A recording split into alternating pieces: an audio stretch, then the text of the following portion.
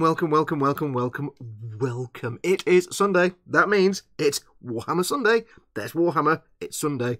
There you go. Thanks for watching. Come again next week. I don't know where I'm going with that. Uh, welcome all. It is Sunday. It's time for me to work on my Warhammer army, and if you've seen one of these before, you know what's coming. It's two or three hours. I always say two or three hours. It's three hours, basically, of me trying to do some work on my Warhammer army. Uh, the unending forces of the Holy Contrivance uh, and you guys just hang out and keep me company for the three hours. Uh, if you've not seen one of these before, I'm building an army, a Warhammer Imperial army with dust on it. There's something on his head there. Uh, Imperial Warhammer army. Oh, snapped his aerial off. Never mind. Leave it alone. Leave it alone. Uh, yes, it's Imperial Warhammer army themed on the Principality of Zeon from the Mobile Suit Gundam universe. So all the vehicles and people and dudes and all the bits and bobs are going to have their own unique colour schemes that hark back to the Principality of Zeon, and they have Zeon markings and everything else. So that's what I'm doing.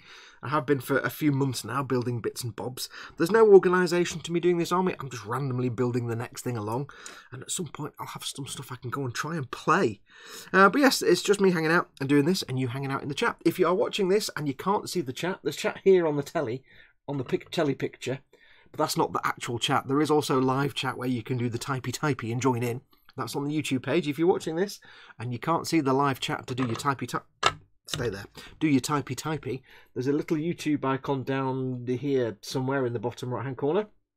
Click on that, and that'll take you to the YouTube page where you can join in the live chat. And do join in the live chat because there's stickers to give away, which I've forgotten to get out as always. We'll be doing some sticker giveaways later on. Um, as always, if you want to ask me a question, because for the love of dog, I do depend on you giving me stuff to talk about, uh, please feel free to put your question in chat. Put it in big fat capital letters so I can see the whole the question. I might miss it. My chat, my iPad's over there, so I might miss the question. I might not, but I can't guarantee I'll see it if it's just in little letters. So put it in big fat capitals. If you want to, you can use the super chat that's at the bottom of the chat window. It's the little dollar symbol, and that will put your chat comment in a big coloured box and make a little noise at my end, so I know you've somebody's made a comment. Uh, as always, though, I do depend on you giving me questions. If you can't get access to chat at all or anything like that, you can just pop me an email. My email address is here at all times, fox at modelmakingguru.com. I can't point in the right direction, the camera's going the wrong way. Fox, but there it is. It's really hard to do this, you know, because I'm looking from this angle here. I'm looking from over here to try and get this to line up with that email address there, with the camera that's going that way. It's really weird. It's kind of, you have to your brain has to do three-dimensional processing. It's quite hard. But yes, you can just pop me an email if you want to, fox at modelmakingguru.com, and I'll try and answer all questions. It does give me something to talk about, so yeah, do feel free to ask me questions. As always, I'll crack on with this in a moment. Don't forget, of course, we are still doing the uh, stream boss battle. You can see up at the top there, Aviad Madar is still on 72,894 health points. And the whole point of that is that uh, you can knock his health down by doing super chats, the little symbol at the bottom of the chat window. You can do a tip through the tip jar, which is streamlabs.com forward slash model making guru. Or you can just, if you're not already subscribed to the channel, you can subscribe to the channel, hit the notification bell. That also takes a little bit of health off. The more you put through as a tip or the more you put through as a super chat, the more of his health comes off. And I can tell you at the moment, the budget, because what happens is all the money I raise through, that you raise even, that you raise through that team boss battle, through the super chats and the tips, that goes into a kitty. And then whoever gets him down to zero that person wins the kitty. Basically, they win uh, Games Workshop or Forge World kits of their choice to the value of the kitty. And at the moment, the kitty is about 100 quid. So, right now, there's 100 quid in the kitty. So, you can see it's not even halfway there yet. So, you're going to win two to 300 quid's worth of stuff if you get him down to zero. So get popping your super chats and your tips and your subscriptions and all that through. Try and get his health down. Now, let's have a quick look at the chat before we dive in and see what we're going to be doing. Uh, we'd have in chat, we have, um, well, Cy Reynolds says, Hi folks, and he was the first person in the chat, but then Pascal Leaverse came in later and says, Actually, he wasn't first. Now, we have no proof of that because there was no comment from Pascal, but I don't doubt it. Pascal's there all the time. The moment you put a stream up ready to go, like five hours later, Pascal's there waiting. So, yeah. Uh, so, uh, Cy Reynolds and Pascal are in. Welcome to both of you. Dad is in, one of your mods for today. Uh, Dad and Chris at Gross Models are both in. Welcome to both of you. Uh, Models is in. Hello, everyone, he says. Uh, let's have a look. Who else have we got? Uh, Alex Geis, it just needs Redwall. Don't know what that's relating to, but Pascal, uh, Alex is in. Welcome, Alex. Uh, we have. Uh, scrolling, scrolling, scrolling. Uh, a lot of you came in just as we were starting, so the half site came in. Hello, all. Welcome to the half site. Mitch Fox, I'm about to hit the gym, but I saw you were on and just wanted to say hi. Thank you very much, Mitch. If you're going to go and do the gym, I don't understand these things because I'm allergic to exercise, so I I don't understand this this gym thing. Uh, but enjoy yourself, get fit, get healthy, and uh, do come back and watch afterwards.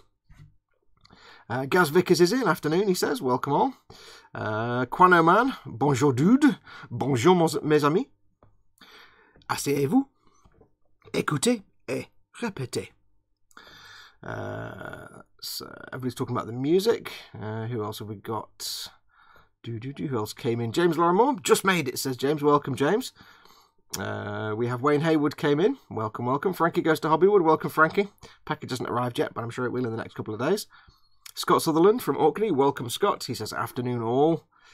Uh, Paul at Team Inept is in. He's another one of your mods. He says, I am the Bandman. Uh, you see the Bandman? Uh, yes, T- Paul likes banning people, but only after he's actually sort of mauled them like a cat mauls a mouse. He mauls them and then bans them. He doesn't just ban you. He'll, he'll just he'll maul you with his paw and roll you around, play with you until then he'll kill you. Uh, let's have a look. Uh, somebody said little noise at my end. Huh, from Team Inept. Don't know what that is. Uh, as always, do let me know. I'm assuming that the sound and video is quite good today. I've tweaked the video a little bit. I changed some settings on the streaming software, and you might actually, I don't know, because I'm not watching the stream, but you might be getting better, better picture quality than normal. I've made some changes, and I'm hoping because I made some changes to do Xbox streaming. I'm hoping the picture now is a little less blocky and pixely than it normally is. So I'm hoping that's the case, especially on playback. Because I was going to set up, if, if, you don't know, earlier on in the week, this finger, this very finger, was poorly sick. It was all swollen and lumpy, and I couldn't do anything. And the only thing I could do was play Elite Dangerous. I couldn't do any painting on the models. I couldn't do any Xbox joysticks the only thing I could do was play Elite Dangerous because on my HOTAS stick, this holds the, the, the, throttle stick and the trigger there isn't used. I was very occasionally used to doing that wasn't so bad because that was my natural resting pose for the finger while it was all swollen. So I could actually play Elite Dangerous. So I was going to stream some, but then my finger got better. So I was like, oh, well, well, never mind. Uh, I forgot what was why I was telling you all that now. Uh, Candygram for Mongo is in. Greetings all. Welcome, Candygram for Mongo. Candygram for Mongo. Paul says, uh, You lot knock the stream boss health down and then I'll win. Not if you don't get him to zero, dude. Uh, do, do, do, do, do, do. Uh, chat has jumped. Hang on, hang on, hang on. Where's it gone? Blanca Blanco is in. Hello, lads. Welcome, Blanca Blanca. How is sunny Australia land? Frankie Ortiz, what's up, fellas? First time on live. Welcome, Frankie. Welcome, welcome. Uh, Simon Reynolds says poppycock. I don't know why. Pokemon Tom says afternoon, Foxy. Hey, Pokemon Tom. Pika Pika. Team Inept says something and then retracts it. You, I don't know what you said, but it was probably hilarious or embarrassing, one of the two.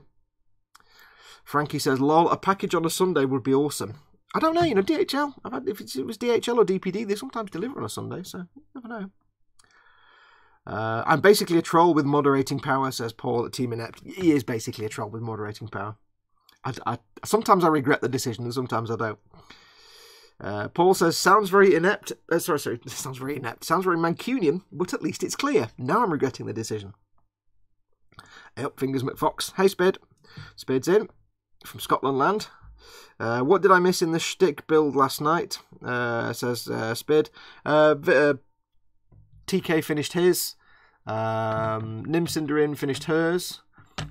New Boomhut member BNT, I think it was BNT. Um, he he didn't build anything because he's a professional model maker, but he thrust his uh, Mrs. B, his good lady wife, onto the telly to build her first ever model kit, which was a helicopter. Good choice. yeah, that was that was interesting to watch. Like I'm going to, I, I, said last night, I said starting off with a helicopter as your first ever build is like learning to swim by being dropped in the middle of the Atlantic. But she she carried on with it. She did well. She was good. She enjoyed it. So you know, props to her. And at one point, Dave Barker said if she can build that and enjoy it, then she'll be able to build anything without fear, and it's true. So we're hoping she gets it done. Uh, Blanca Blanca says there have been floods and fires, but not in his area at least. Yeah, because you've just had a massive heat wave and now you're getting all floods and stuff, aren't you? I know it's not near you, but stay safe, dude. Stay safe. Um, BNT, bacon, net curtains, and tomato. I like the idea of bacon and tomato. Net curtains, not so sure. It's very 1970. Way genuine lady girls, not lady boys, says Spid. Yeah, we had uh, we had a female contingent on the stream last night, and I was saying on the stream it's nice to get some female builders and some female boom members because this hobby is horrendously male oriented and it needs needs to shift a bit get a bit of equality going in. So I always applaud and encourage uh, girl builders, lady builders, female builders, whatever you want to say. I always uh, I like to get a nice mix. I like to get a nice mix. And the funny thing is, of course, because you guys are all in chat and a lot of you've got like pseudonyms, you don't have your actual name. A lot of the times, I don't know if you're guy, if you're guys or girls. So I don't know. I could be saying guys or dudes or hey fellas, and it could be half ladies. I don't know. Uh, do do do do. Uh, let's have a look. Gosh darn Paul says, Spit, I want a BLT now. I know, so do I. I'm starving already. 10 minutes of the stream and I'm starving. Not good. Right, so anyway, nonsense. Let's get all that nonsense out of the way. so, yes, what are we doing today? Well, if you remember last week, uh, I got this was already primed and I got it base coated in Castellan Green. And what we did was we gave it uh, a base coat of Castellan Green and then I gave it a, a big fat wash of big sticky Nuln Oil just to darken everything down to get into the recesses and darken the whole thing. And then I went in and I dry brushed um, Castellan Green back again to get some what I was calling airbrush free post shading. Because we shaded it in black and we did the black Nuln Oil wash, it means there are some darker areas in the recesses. And I dry brushed the Castellan Green back on just in the middle of panels to get the ever so slight shaded effect. So around the edge of these panels, it looks a bit darker. It doesn't look like I've just painted it on there. It's got a hint of an airbrush technique, but not quite. Because what we're trying to do, I don't really want to use the airbrush on these as much as I can avoid it. Although I've run out of Chaos Black spray, so I had to prime this with UMP primer with the airbrush. But for the actual painting painting, I want to avoid using the airbrush because I kind of hate using the airbrush now. Now I've got used to brush painting. So we're doing that sort of um, airbrush free pre-shading effect and it's come out pretty well but it's nowhere near finished yet because that's just one colour one colour and a shade we've got more colours to do now for those of you who weren't here last week if you're following along uh, I am using I am going to just move my cards out the way. Hang on. All my credit cards on telly spoon. Uh, I am using as, as much as I can I'm going to use basic colour uh, ideas off the Citadel paint app. Uh, and for this base colour for the vehicle, this remember this is a Zeon vehicle, and I've decided the Zeon vehicles for the bog standard grunt troops uh, are going to be green. For most of them, they're going to use a light green shade. Because if you look at actual Zeon vehicles, like some of the tanks and stuff, the ground vehicles, they're kind of shades of green. So we're going to have green, and I'm going for uh, not that one, for moss green, which is a really nice sort of light green colour. And it starts off with Castellan, then you've got a shade of Athonian shade, but we didn't do that. We did Nuln Oil. Then we've got Loren Forest and Straken Green. But we're doing it in a bit different way. As always, I'm doing it differently. I'm doing my dry, my dry brush um, airbrush technique, my dry brush um, post shading technique. So you can get that pre-shaded look without doing pre-shading. So we've done the Castellan Green. Uh, next, we're going to go in with the Loren Forest, which is the intermediate tone. If you look at all three, there's three different greens. Castellan's the darkest, Loren Forest is the medium, and Straken Green is the very highlight. And what we're going to do is basically exactly the same as we've done already, taking uh, the colour and dry brushing it into the centre of panels. And that's it, basically, for this bit. We're going to do exactly the same. So, I have the paint here ready. Uh, I'm not using my wet palette for this. Uh, the Chimera is looking badass there, Fox, says JS Idaho. Welcome, JS Idaho. Thank you very much. Got lots to do yet. Uh, I'm not using my wet palette for this because we're dry brushing. I just want to get lots of paint down. So I've got my little Citadel palette pad. It does have its uses. I don't use this for normal painting, but I use it for making glazes and for doing dry brushing piles because I just want a pile of paint. I don't want to thin the paint more than necessary.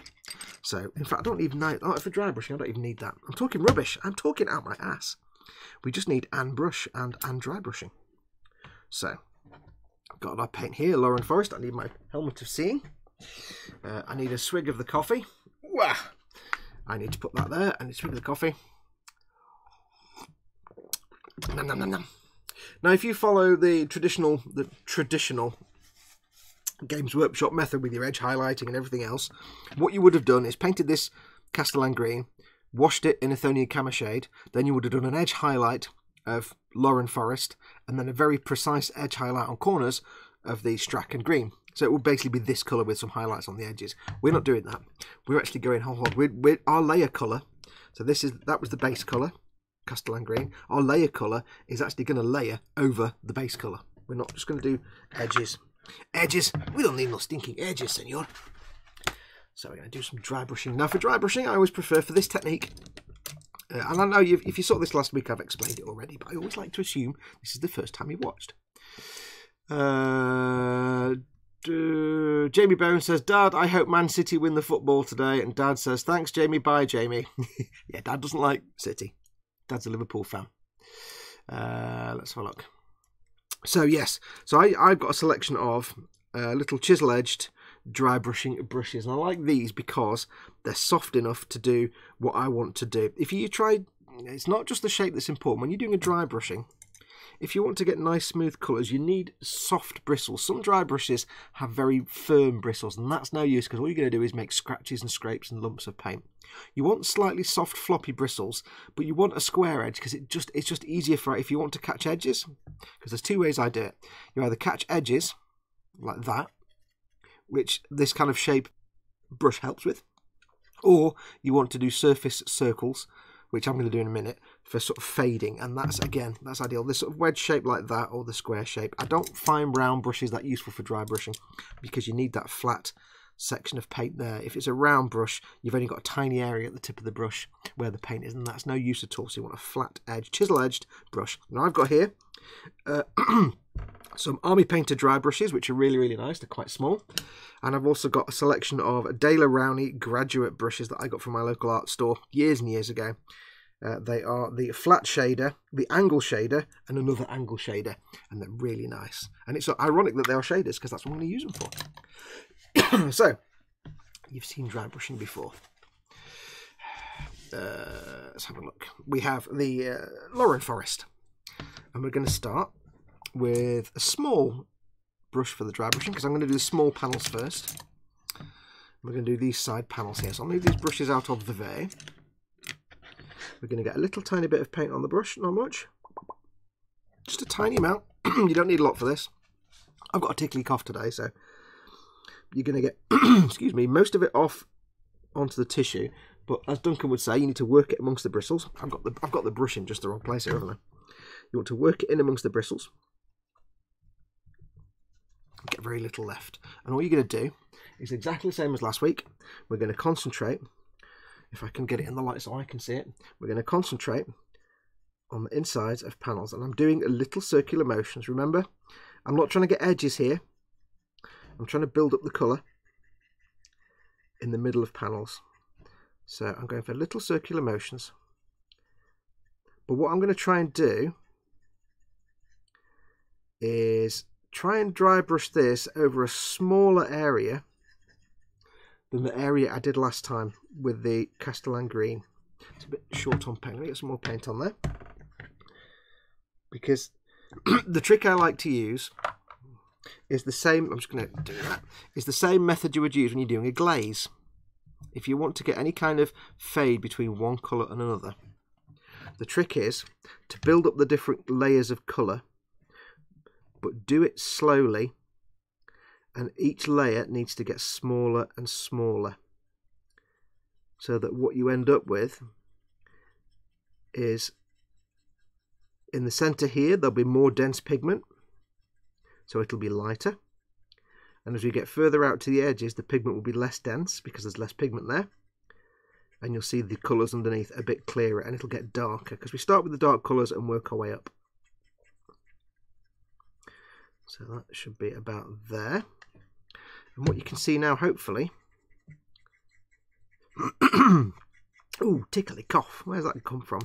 What you can see, hopefully, now is that panel stands like a mile. Now, do keep in mind, excuse me, do keep in mind that the colours you're seeing on telly here are actually a lot brighter than in real life. In real life, it's not quite that obvious. This this green isn't that dark. It's not far off, but this does look a lot darker than this uh, than, than the colour you're seeing. I'll start again. This to you looks a lot darker than I actually see it here. But this is what we need to do. So I'm going to get this done now. We'll crack on. Do, do, do. A bit more. Uh, now this is going to be quite boring. because we've got a whole tank to do. So we need to talk about things. So I will have a look at the chat in a moment and see if I can find something to talk about in the chat. Uh, if you do need to ask me a question, because I am focusing on this, but the chat is just here. Uh, ask me a question, put it in big fat capital letters like Alex Geis has just done. I'll answer that question in a second. Put it in big fat capital letters and I'll have a better chance of seeing it. Or if you want to, you can do, like I said, a super chat, which is the little dollar symbol at the bottom of the chat window. That puts in a coloured box and gives me a little noise to distract me and tell me there's a comment I need to read. Uh, now, Alex did ask a question. He says, When airbrushing, I get a grainy texture. Any suggestions? Yes, it's very simple. Uh, if your paint is coming out grainy, it means a few things, but all easily fixed. Typically, normally, it just means that the paint is too thick. It's not thinned enough. Theoretically, that's one of the options. It's too thick. This is one possibility. It's too thick when it's coming out the airbrush. Uh, and that's that can be easily solved by either thinning the paint a bit more or dropping the pressure down a bit or increasing the pressure a bit.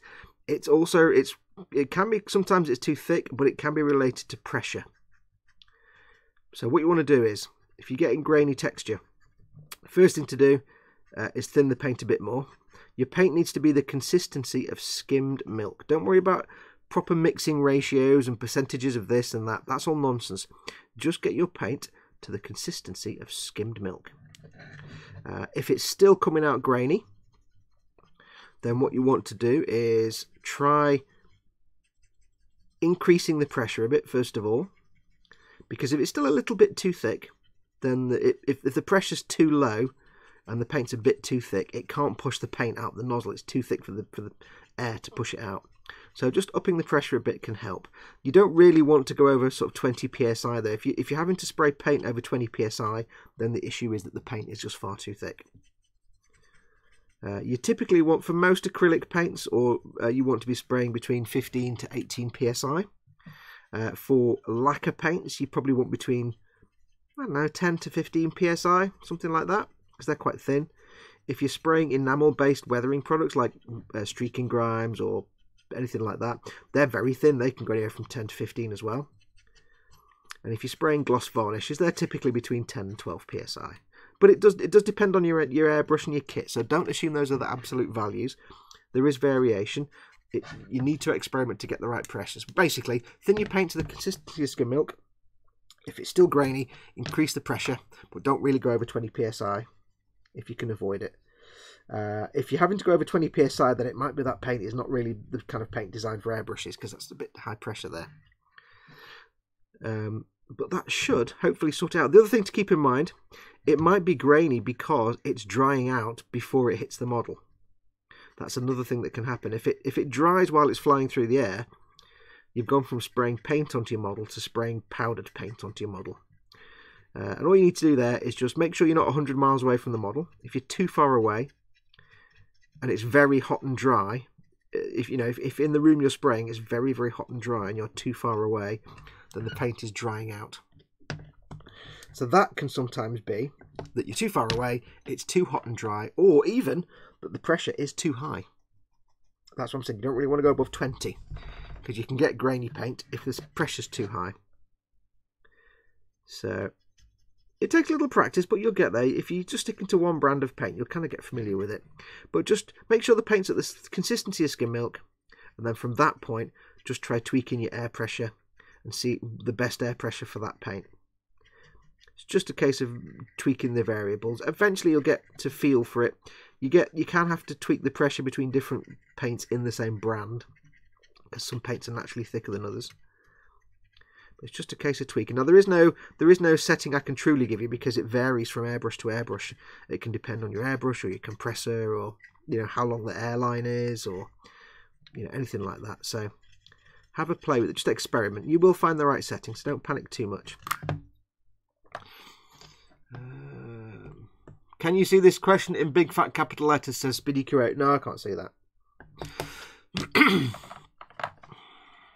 let's have a look. Brett Holt. Good afternoon, super awesome peeps from here on the south coast of the UK. Uh, welcome, Brett. How's your weather down there? Down in the south coast, you always get the best weather down there, so I'm going to assume you've got like tropical heat wave at the minute, compared to us up in Manchester getting all the ming. Um, Team Inept says hashtag unpaid advert. oh, he's he's he's, uh, he's plugging Chris's live stream. Yes, for those that you don't know, Chris at Gross Models, who is uh, my very good friend and one of your mods today, he also does a Warhammer live stream at 8 pm on a Sunday. The Warhamster uh, gives you a break to go and have your tea. So when this stream is finished, go and have your tea, and uh, you can come back and watch Chris on his channel, Gross Models. Uh, I will dive into the chat properly in a moment. I'll get this one side done, then we'll have a quick look at the chat. Now, what I'm doing as well, I am actually going along and catching the edges of things. Remember, I was I was really focusing on the centre of panels. I'm going to catch the edge of things as well. I may as well do that while I'm here, but I'm not doing an edge highlight like a proper painty, carefully painty edge highlight. Because the one thing I can't stand doing that's a kind of Games Workshop staple technique is edge highlighting. I, I don't know, it just doesn't work for me. I don't like it. I can't do it. It doesn't look doesn't look natural enough. But then again, you see, I'm weathering things. I'm not doing just normal clean vehicles. So to me, I like a more random weathered look. So I always try and avoid edge highlighting carefully. Like they get the brush and they do all this with. No, I'd rather get a random dry brush edge highlight if I can. That works much better for me. Okay. So I think that side's looking pretty good. What do you think? That's that side now. Now it does look again, keep in mind, it looks kind of harsh to you. You've got light green, dark green, light green, dark green, light green. It looks to you, it looks like it's just all. It's not that blatant on in real life. In real life, it's a lot more subtle fades. It's just the camera kind of simplifies it into light and dark. But compare it to this side, which was just the base coat with a bit of dry brushing. So you can see where we're going. Just lightening it up. This bit needs a bit more, I think. Let's put a little bit more on there. Little bit more. You can see the effect we're going for. The trick is, though, with anything like this, especially if you have a gap between colours, if you're going like dark light, dark medium, then light, once you've done, say, your base colour and you've got the brushing, dry brushing on there, it's very easy to then have that image in your mind and think that's about the right colour you want. And then when you start adding lighter colours, you think, oh, it doesn't look right now. It looked great before. Don't don't think like that because it's quite misleading. Because I want this to be quite a, a, reasonably light green, but I'm so used to seeing it in the dark green that as I start adding the dark green, the lighter colours, that my brain goes, "Oh, you've ruined it now," but you haven't. It's just because you're used to seeing it darker. So don't panic. So I'll just get a little bit on this doohickey. I don't know what this bit is. It's like a a device of some sort. But again, we're going to stick with the circular motion. And that's that side done. Cool. Give it a quick whiz over there. I'm not too bothered about these bottom bits because they're going to get covered in mud and stuff anyway. And remember, we're just painting the painting the base coat at this stage. We've got loads of other stuff to paint, all the details and weathering and stuff like that. So I just want to get all the base colours down first, purely because I don't want to spend ages painting the tracks and then do all this dry brushing and get loads of paint on the tracks because that would be a shame. So I need to get the sort of the generic green colour down first. Uh, so I'm going to do, let's do on this side. Have a quick look at the chat first. Uh, doo -doo -doo. Paul at Team Up's going to watch Chelsea uh, City on his lunch, um, which I don't care about because it's football. Feel free. it's football. I don't understand any of that. Um, Let's have a look what's happening in chat. Uh, Rat Pack 30, welcome, welcome. Fox, stop being good. I become jelly. I, I, well, hopefully, if you if you if you try these techniques, you'll be able to be good yourself. Not that you're not good, but you'll you'll be able to be what you think I am. You, you can do it. Uh, when airbrushing, oh, we've done that one. Uh, do, do, do, do, do, do, do, do. Uh, let's have a look. What's uh, Vallejo is a start again. Vallejo Air is a good airbrush paint. Rat Pack Thirty says. Don't use Vallejo primer. No, don't ever use Vallejo primer. It's terrible. Uh, Vallejo Air is great for airbrushing because it becomes pre-thinned. Um, there are other paints available. If you want, to, if you're learning how to airbrush, then I often recommend something like Vallejo Air, purely because it is pre-thinned for airbrushing. Some of the colours you have to have a little bit of thinner, but for the most part, it's pre-thin for airbrushing, which takes half the work out of it for you. If you're just learning how to airbrush, then using a paint that's already thin enough for airbrush takes half the thinking out of it, and you can focus on just your technique and you know getting confident with the airbrush without trying to figure out how to thin the paint properly. So yeah, that's a good brand that Vallejo Air. There are other ones out there. Citadel do a range of air paints, but they come in these stupid little pots, which is a pain in the bum. And again, they probably still need a little bit of thinning. So, but experiment. You'll find your favourite paints. Ultimately, as a beginner, I would say whether you're brush painting or airbrushing, I'd always say experiment. Try different paints and see which one you like the most. Uh, what's next? What else have we got?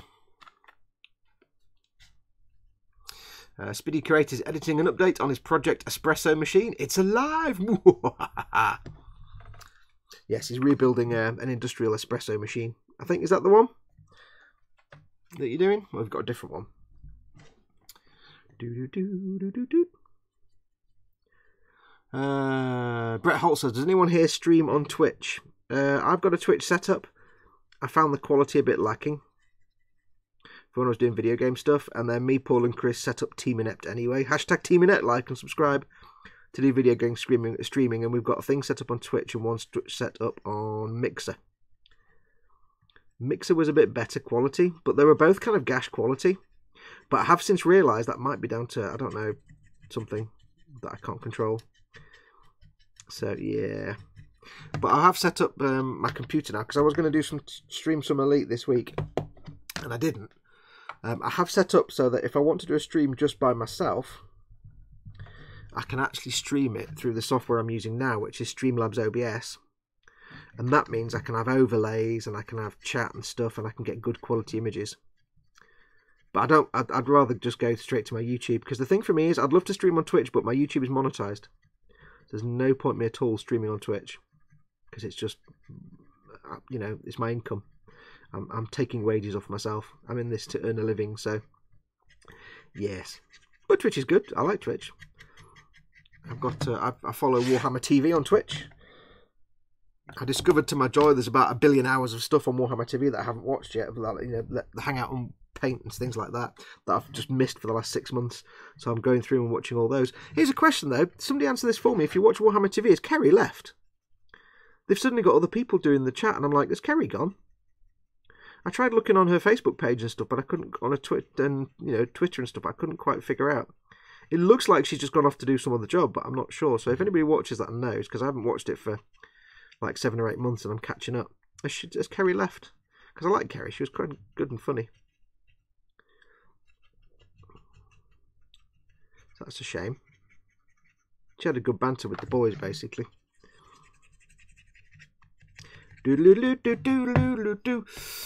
Edge highlight. Oh, it's moved. It's moved. Hang on. Oh.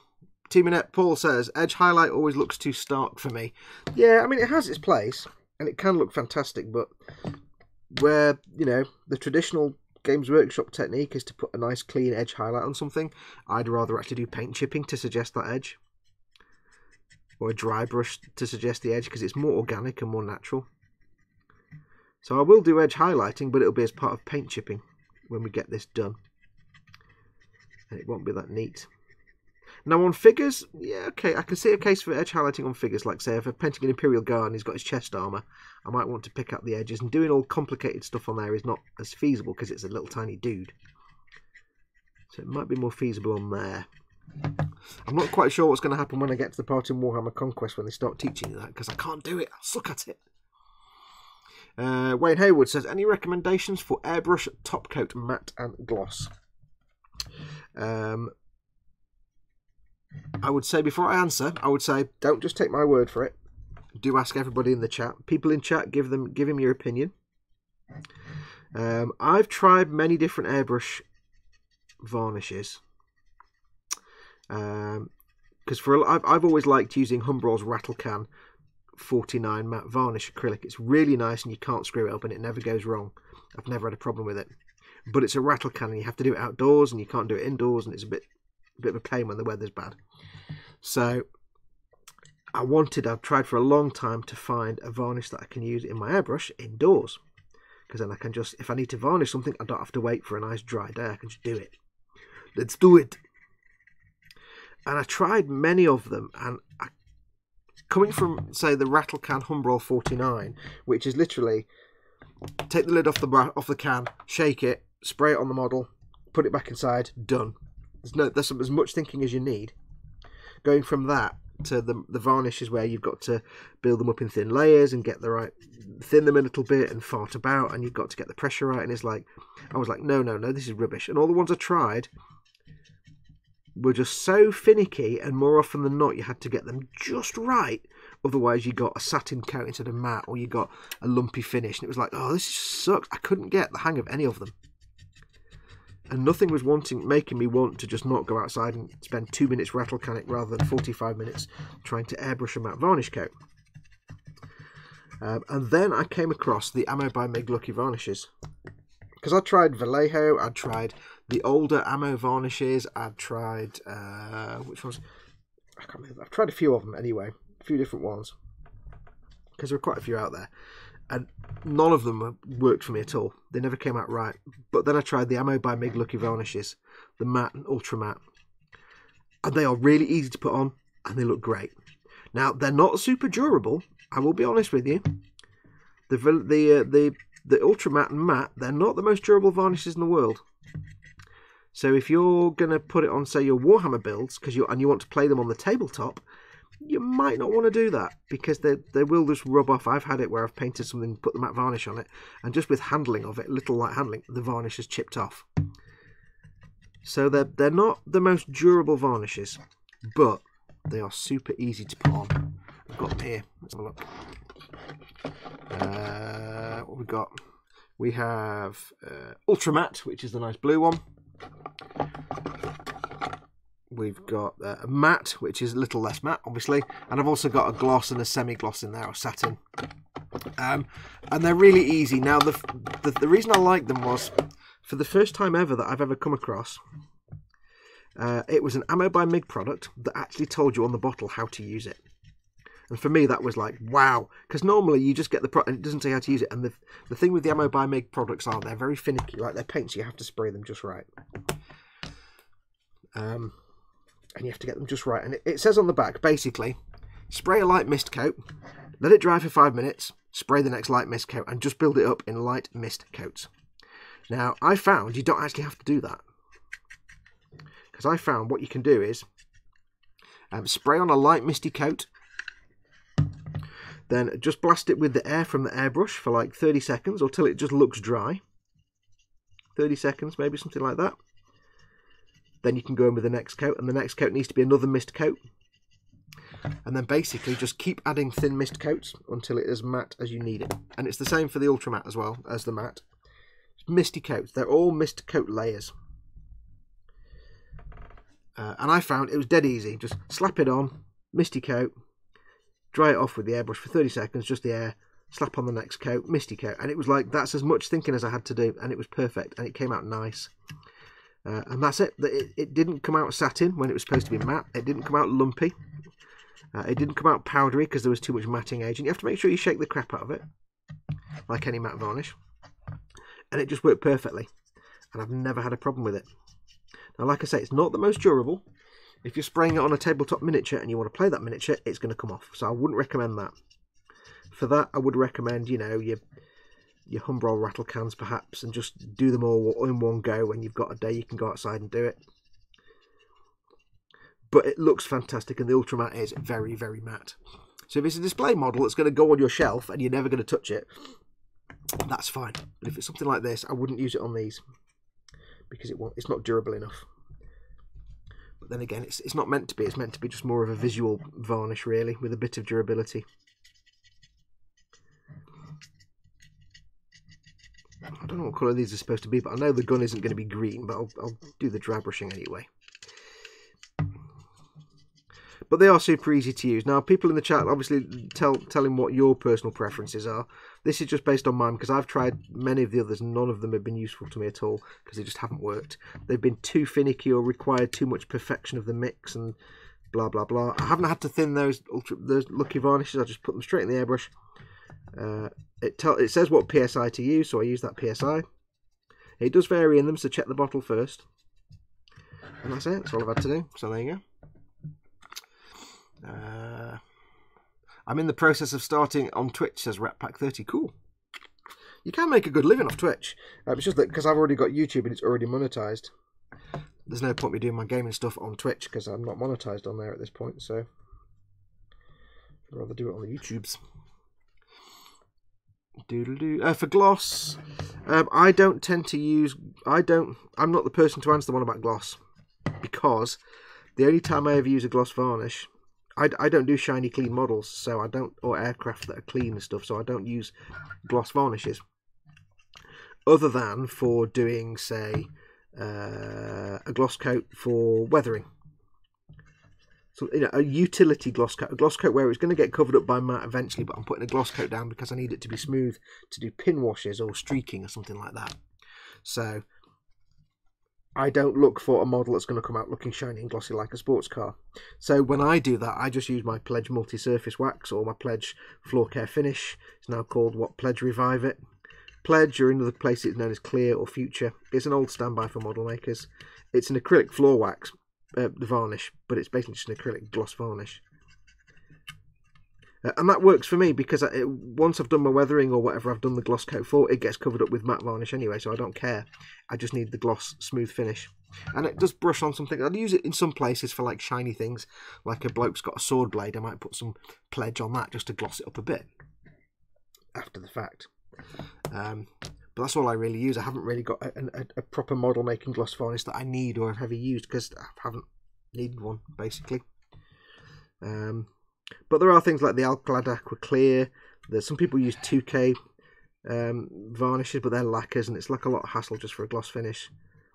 But yeah, that one I would refer you to guys in chat because they probably got a lot more experience using glosses than I have. It's not my field of expertise.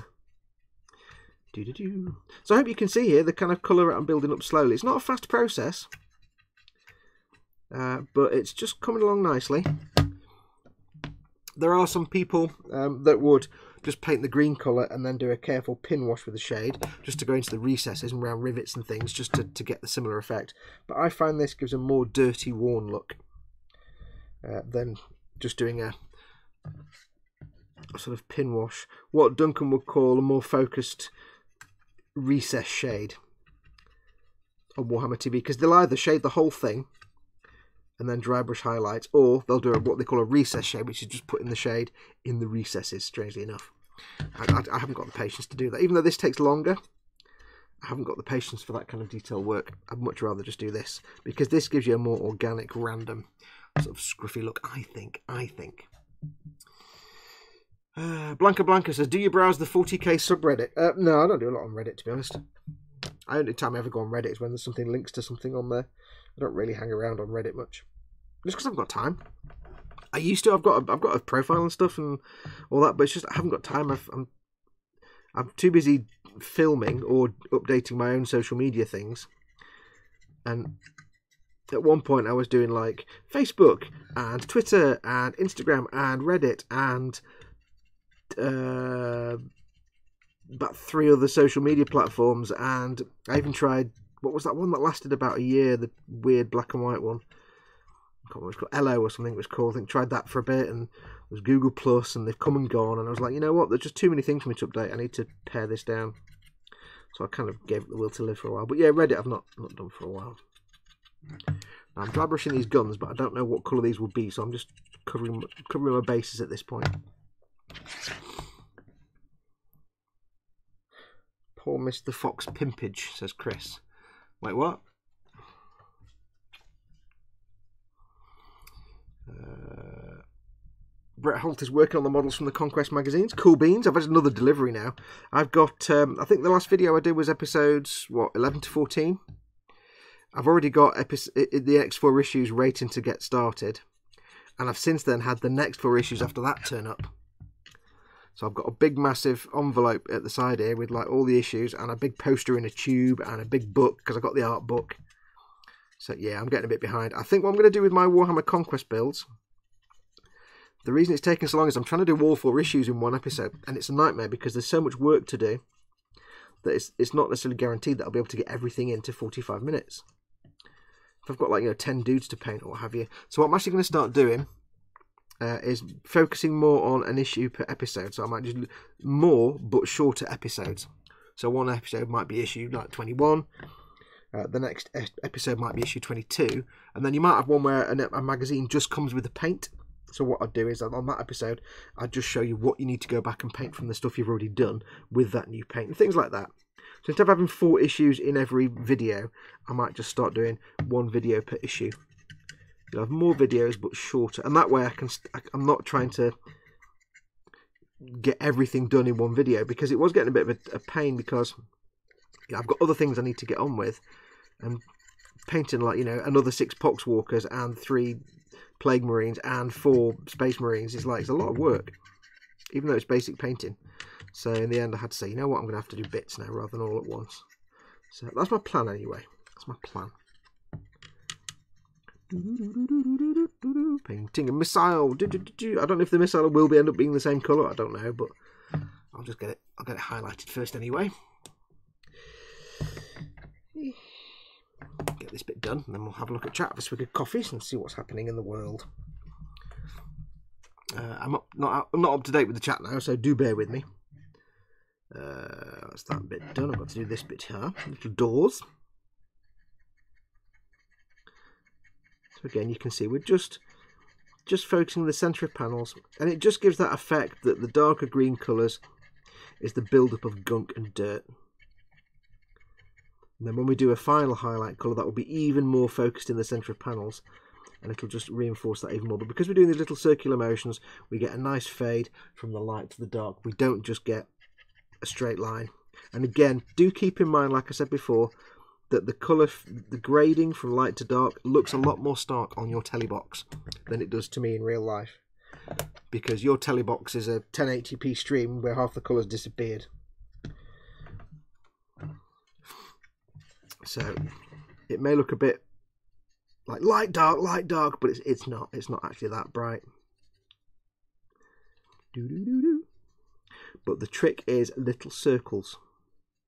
If you're trying to catch edges, you can go back and forth. If you want to get blending, it's little circles. And I've said this before, when I was a kid, I used to do lots of comic art. And for a long time, what I used to do was pen and ink outline drawings and then colour them in with pencil crayons. Until I started using watercolours. Until I learn better. Uh, and if you want to colour in with a pencil crayon and get a nice colour that doesn't look like you've coloured it with a pencil crayon, the trick is little circles. And it's the same with brush painting. If you want to get a nice nice blend where it doesn't look really obvious then little circles is great because like sanding you basically if you make some brush marks you then cover up those brush marks with the next bits of brush marks that go over them. So you just kind of you're applying brush marks over brush marks and you get a smooth subtle fade you've got to go very gently i'm being very i'm not putting any pressure on here i'm just going little circles and this is why you want soft bristled chisel brushes like these because they're brilliant they've got a lot of paint on the flat edge the flat edge can smush around and is smushing the paint. Half of the paint is coming off the brush and half of it is just the paint that's already on there, smushing around and blending together. And it is possible to get nice smooth finishes with acrylics and dry brushing. So when it comes to me doing my Master Grade Sazabi, you're going to see a lot of this. It's going to be a technique I'm going to use. It takes a while to get used to it, to get the hang of it. You've got to get the brushes just right, and you've got to get your technique down pat and get comfortable. Because, like, you know, I can put pressure on where I need it, and I can get a brighter spot. I know where I can increase pressure a bit, and you kind of do it by feel. You do it by, it's almost by, you know, gut instinct.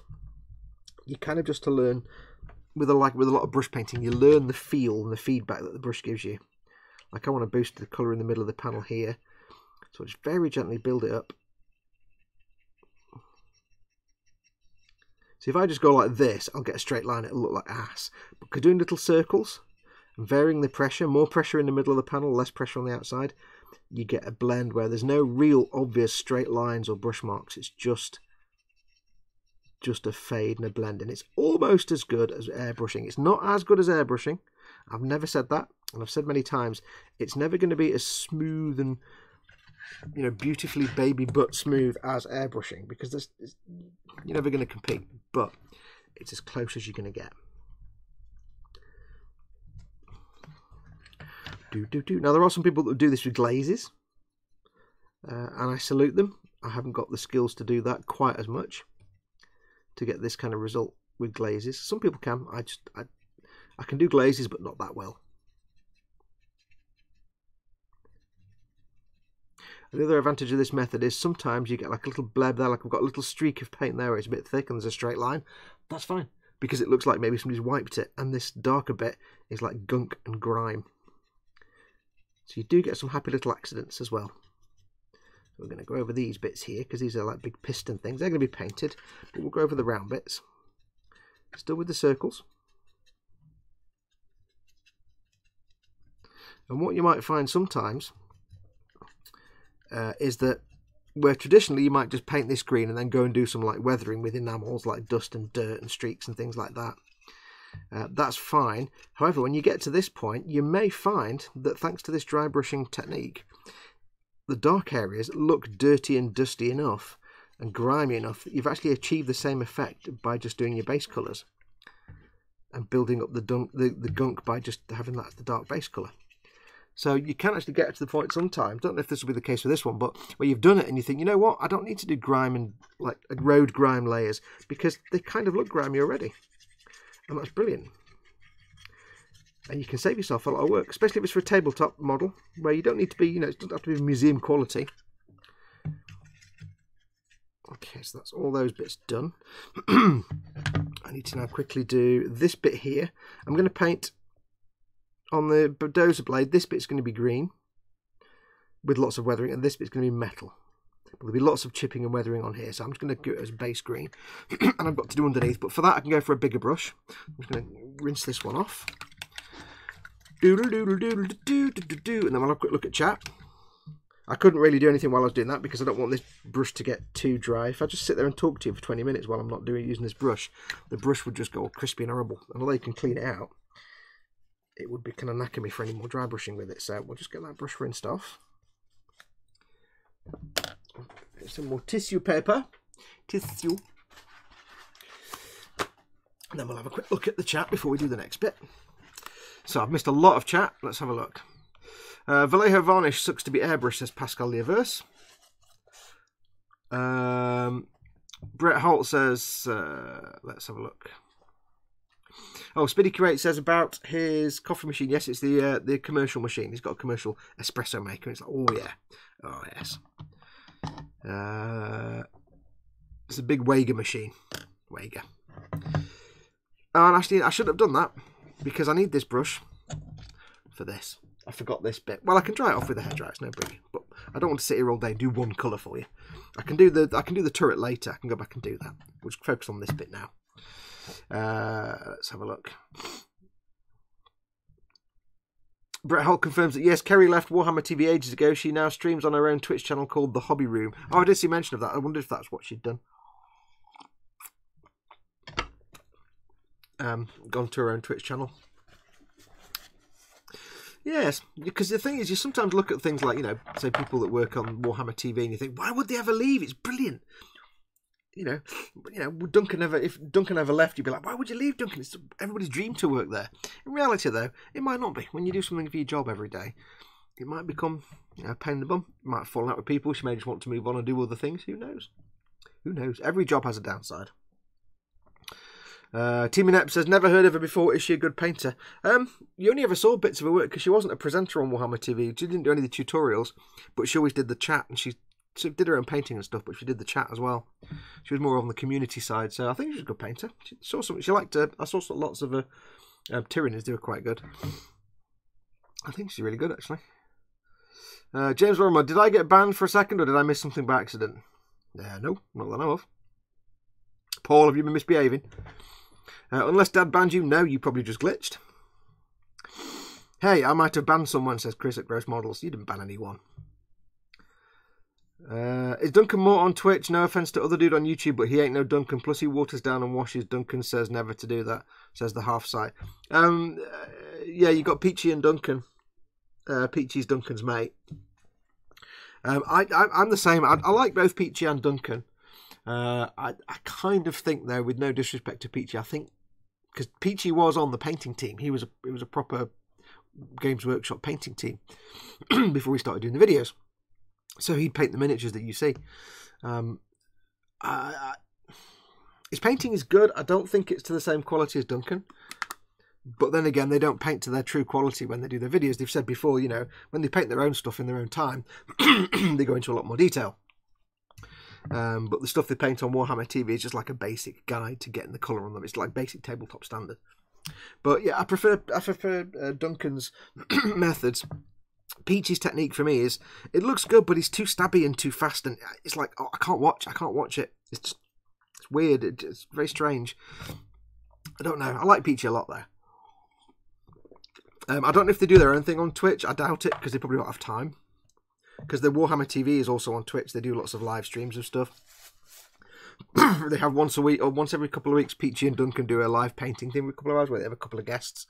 They also do gameplay and other things like that. So I don't think they're actually independently on the on the Twitch.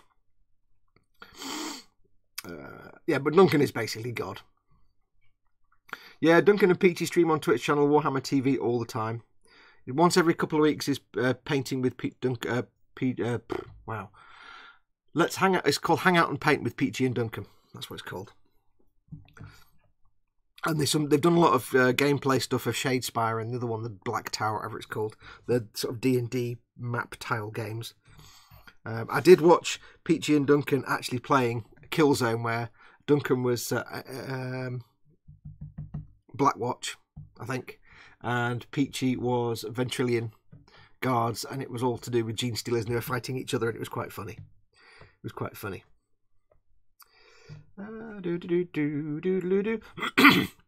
Space Hamster, Space Hamster Z8 says, Hey guys, just checking in here while making fried rice with shrimp.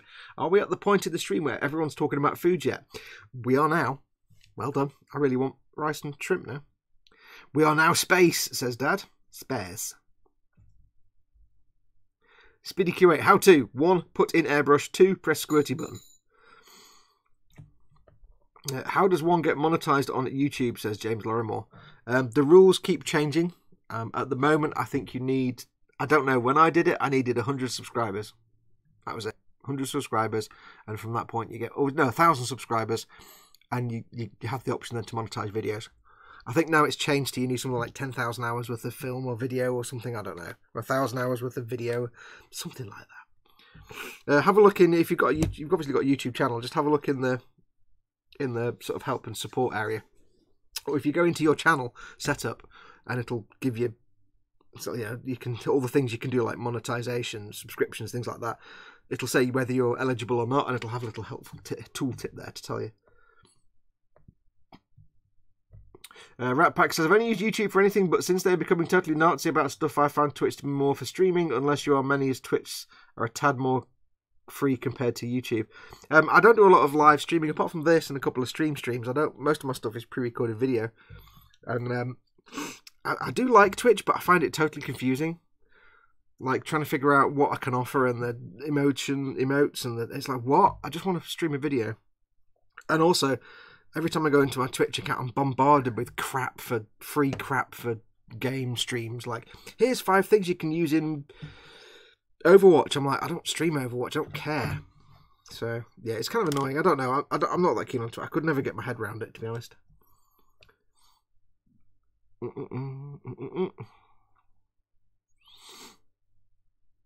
So uh, chat has jumped all over the place. James Lorimer says, I had a ban message earlier. What's going on? I swear I was being good. No, I don't think any banned you. I'm not banned you. Uh, I banned somebody early this week, but not you. Doodle doodle doo. I'm making a moist palette for later on, says Chris at Gross Models. James Lorimer says, Gotta go for a bit, back soon. Okay, James, see you in a bit. Um, he then says, He used a wet palette, but Fox told me it was too wet. Yes, a wet palette needs to be damp, not dripping wet. Your wet palette needs to be moist. Not not uh, swimming with water is the trick. It's just damp to keep the paint moistened. Um, I believe I can't believe Fox thinks brushing in circles is as good as airbrushing. Says Paul at Team. I don't. It's nowhere near as good as airbrushing, but it's a lot less hassle than airbrushing, uh, and it still looks pretty darn good for tabletop models. There you go. So that's what I said. See, listen to my words that have come out of my face. Uh, that was a swimming palette, Chris. That's why, I says Dad. Yeah, pretty much. Speedy Curry says, Has that got out moist? No peas. There'll be no peas in our time. Uh, I like that technique, Fox, says Jazz Hideout. It looks to provide a great result for those of us without an airbrush. That's the idea, is because not everybody has an airbrush, or everybody, not everybody wants to airbrush. Airbrushing terrifies some people, and I respect that. Uh, right, slightly larger uh, brushings. A little bit more dry brushings, because we've got this area to do, and the, and the dozer blade. Da, da, da, we'll get this bit done. And what I like to do is start off very, very light, because if you've got too much paint on the brush, it's not the end of the world. You put a little bit of paint on there, you can blend it away. If you've got too much paint on the brush and you go in really heavy-handed straight away, you've just made a mess, basically.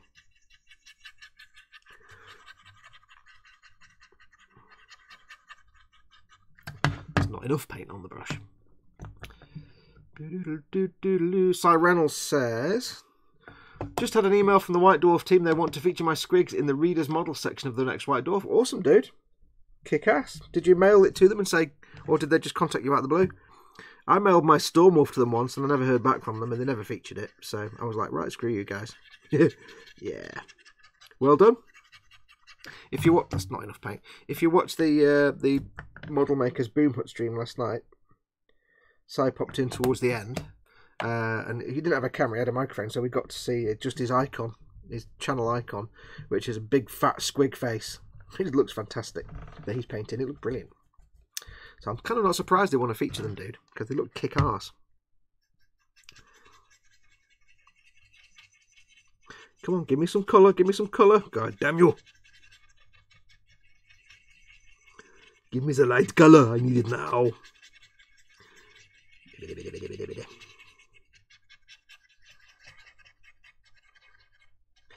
There you go. Well, I'm having trouble with this brush for some reason. Yeah, they contacted me direct as the painting comp I won with them was the Warhammer World Shop comp. Okay, cool. I thought maybe they just contacted you without you even doing anything. Cool.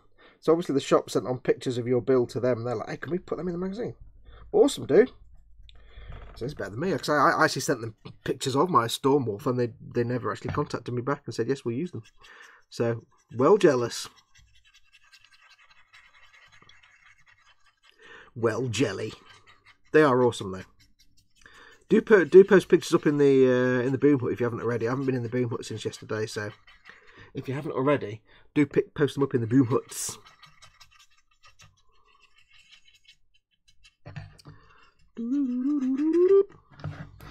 Okay, so we have die Dose Blade. Bladen gefahrten auf der Dose, ja. Uh, Inept says, I'll be all supportive, but I'm jealous. He said it again. He keeps saying that circle brushing is better than airbrushing. Uh, he's just shapist. He loves circles, hates triangles. I don't mind triangles, but I hate rhombi. The rhombus of doom. Rhombi are evil.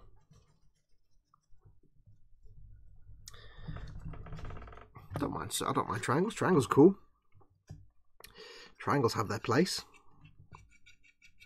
Dee dee dee. Rhombus of Doom. That's an old Penny Arcade reference, if I remember rightly. Now, you will find that when you do these, use bigger brushes. For some reason, some bigger brushes can sometimes be a bit of a pain to get paint off. You might have to work a little longer. It sounds counterintuitive, but it might take longer to use a bigger brush. I don't know why, it just does sometimes. It's just the way it is. It is kind of counterintuitive, but you've got a very big open area. Using a bigger brush helps reduce the amount of brush strokes. You could use a little brush, but you, do risk getting more more patches or brush strokes. So try and minimise that risk. I think elliptical brushing is better than circular brushing, says Spiddy Curate.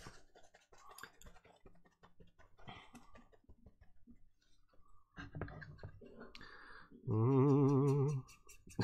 and then Paul says, "Ooh, elliptical, like a Yorkshire." Was it? I've lost it now. A Yorkshire tash. Anybody outside the UK won't understand that. Elliptical, like as a lip tickle, like what a moustache does. Never mind. Paul, you can explain it in the chat. I'll put the onus on you. Everybody look at Paul's onus. Okay, so I'm not too fussed about this bit because this is going to be heavily, heavily weathered. I actually scratched an etched load of scratches. When I was filing it, I put a load of scratches and dents and dings in this to make it look a bit battered. So this bit will be heavily weathered anyway, so I'm not too fussed about the green on here. This is going to be bare metal. Uh, and probably most of the back of the blade is going to be kind of bare. So what I might do is just do a little bit there. Uh, okay, what did I miss? I was making chili for me tea, says Gaz Vickers. Not a lot. I've done the green, some green. Not all the green, but I've done some of the green. That's about it, really. There's lots of like naked people. They all appeared, but you missed all that.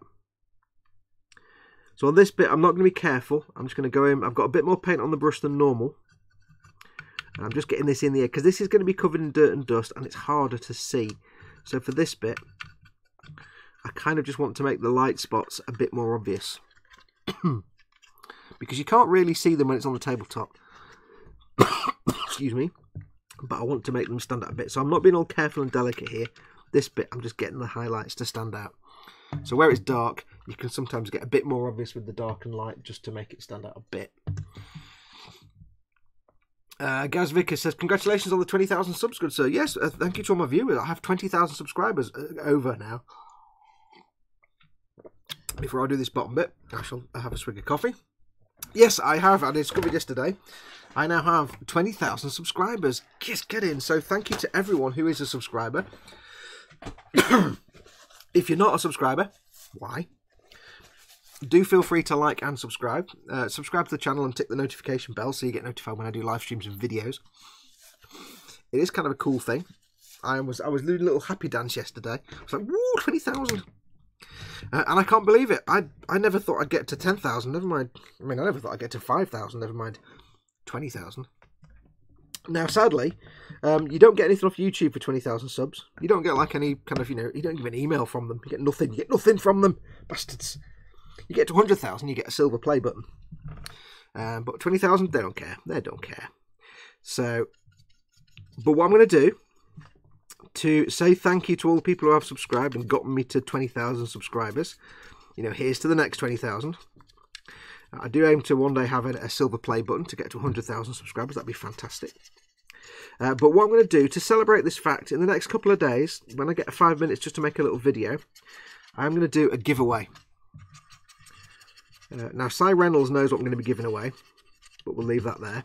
Uh, but yes, I'm going to be doing this big fingerprint there. hooray! Thumbprint when I was painting it. Uh, I'm going to do a giveaway. I'm not going to tell you what it is yet, but it is going to be kick-ass. It's going to be kick-ass giveaway. It's going to be a nice, nice bit of stuff I'm going to be giving away. So keep your eyes peeled over the next few days. It's going to be a simple. It's going to be a simple job of putting a comment on our video, just to say thank you to everyone who subscribes. So if you are a subscriber, thank you so much. Um, I owe you everything. I mean, as I've said many times before, this is what I'm doing. I've made this my job now. I've made this my career, my my entire source of income is YouTube and Patreon and that kind of stuff. So I can only say thank you. You know, I can never say thank you enough, basically, to my to my supporters and my patrons, because you know you guys are helping me live the dream. I've worked many, many crappy jobs in my life. Crappy, you know, crappy, crappy jobs. And when I had the chance to make this my, my, my sole source of income, do this for a living, I didn't know it'd work. I didn't know if if I'd make it. I, I, I, was like, you know, for all I know, six months from now, I could be in the job in the job centre again, looking for a job, crappy call centre job. I didn't know, but it was the first time I had the actual chance to give it a try. So I thought, yeah, screw it, we'll give it a try. And thanks to you know the support of my patrons on Patreon, and thanks to you guys watching and liking my stuff on YouTube, because I make a little bit of money off YouTube as well. Thanks to everybody basically just watching my stuff and liking and subscribing. I'm now making a bit of an income. I'm not making a lot of money, but it's a little bit, and I'm getting there. I've got many, many years ahead of me, hopefully. this is a very long term, long term plan. So, yeah, I can't thank all my supporters enough. I just, you know, I just make silly videos that show you how to do stuff as lazily as possible and try and demystify the processes somewhat and make them not quite as scary and complicated. a little brush again now for this. And hopefully I succeed in that. I'll try and show you that even though sometimes you look at these models and they look incredible, you think, oh, you must, people must spend months and months painting these, you must do this for years, learn all these techniques and things. That in fact, a lot of stuff you can do dead easily, minimal effort, dead lazily. At the end of the day, I'm lazy. I, I'm lazy and I get bored easily. So if I can get results that look kick-ass whilst being lazy and cutting corners, then it means anybody can. And I want people to know how to do that. That's why I do what I do. I like to demystify things. You know, people get people get scared of airbrushing and don't do airbrushing because they think it's going to be too hard and too complicated. Uh, and that's why, you know, people look at airbrushing like some dark art. And it's not easy, but it's not complicated either. It's not as scary as you think it is. So I have to try and demystify. But that's what that's what I'm doing now. This is my, my income, my livelihood. And I can't thank all 20,000 of you enough. Uh, 20,006 or 7 now, I think. So here's to the next 20,000. Hopefully I keep making content that you guys like, enjoy. I know the last five or six months have not been exactly, you know, brimming over with content.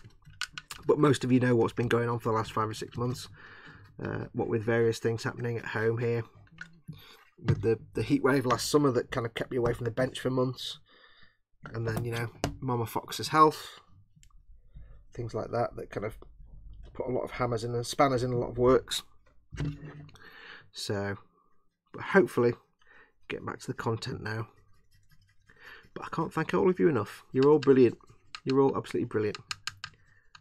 It's like I've said, even if you just watch my stuff and you know click the like button and watch through the advert, I love you just as much as someone who you know supports my Patreon. Every little helps. On that note, if you do watch my stuff, uh, then do consider helping me out on Patreon. The address is there's the camera. Hello. Address is there, patreon.com forward slash model making guru if you'd like to maybe help me out. But if you don't if you can't, if you don't want to, if you're not able to, that's fine. Just then make sure when you watch one of my videos, if you can, sit through the advert. I know it's a pain in the bum. Because nobody likes the adverts, they all suck. But sit through the advert, it's 30 seconds and it really really helps out helps me out because it helps my my revenue from this channel means i can afford to buy food yes always a winner so yeah. If there's no other way you can help out just just consider watching the advert. It's always for something terrible. It's always for like web design services and stuff so you're never going to be forced into suddenly buying a house or something on the back of it. Don't worry about it. And it's not quite as bad as watching telly and you get some kind of retirement advert with like some TV celebrity from 30 years ago. Where you get, you know, you join, inquire now and get a free crappy pen or a carriage clock, really. You know, middle class old people adverts. Right, that's. What's that on there? I've got like a flake of paint on there. Das ist nicht richtig. There's like a blob of paint that's come off the. Where's that? A blob of something gooey. Get off! There we go. Like a little flake of paint that came off the pot lid like last week and has been sat there all week I didn't know about. Right, so I think that's done for that layer of paint. We've got a little bit of edge picking out on the edges here. Not too much. We've got those sort of lighter panels covered. So now you can see it's looking a lot more, well, a lot lighter, but it's got it's gone from looking green and dark to lighter green and a bit more dirty and yet we haven't even done any weathering yet we've just done shading so hopefully you can you can get an idea now to see the kind of effect we're going for need to the side of this dozer blade don't I so this is one way advantage of doing this is you can end up like I said before you could get to doing all the paint, detail painting and suddenly think, actually, I don't need to do much weathering because the kind of base colour makes it look weathered anyway. I've got a bit more paint on the brush here. I'm not being delicate with this one because it's the edge. And this is going to be lots of scraping on it anyway, but I'll just get some rough stabby paint stabs in there just to get some scratch marks. If you just go in with the brush and stab, you get little brush marks and they look like scratches and scrapes, which is cool, what want. So that is that done. I'm going to rinse these brushes off. Uh, give them a bit to dry. Have a swig of coffee, check the chat, and then I think, what time are we on? Quarter past four. I think that makes it sticker time. Don't you? I think I think you'd agree. I think you would agree. That makes it pretty much stick time. So let's have a quick look at chat.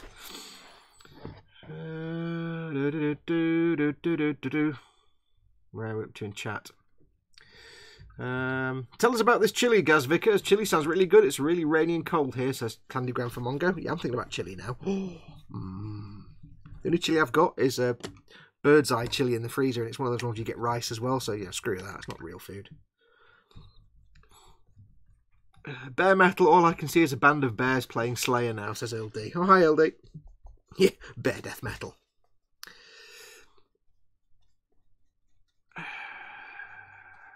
Don't know what the conversation was, but Dad says the home of the Astra, Ellesmere Port.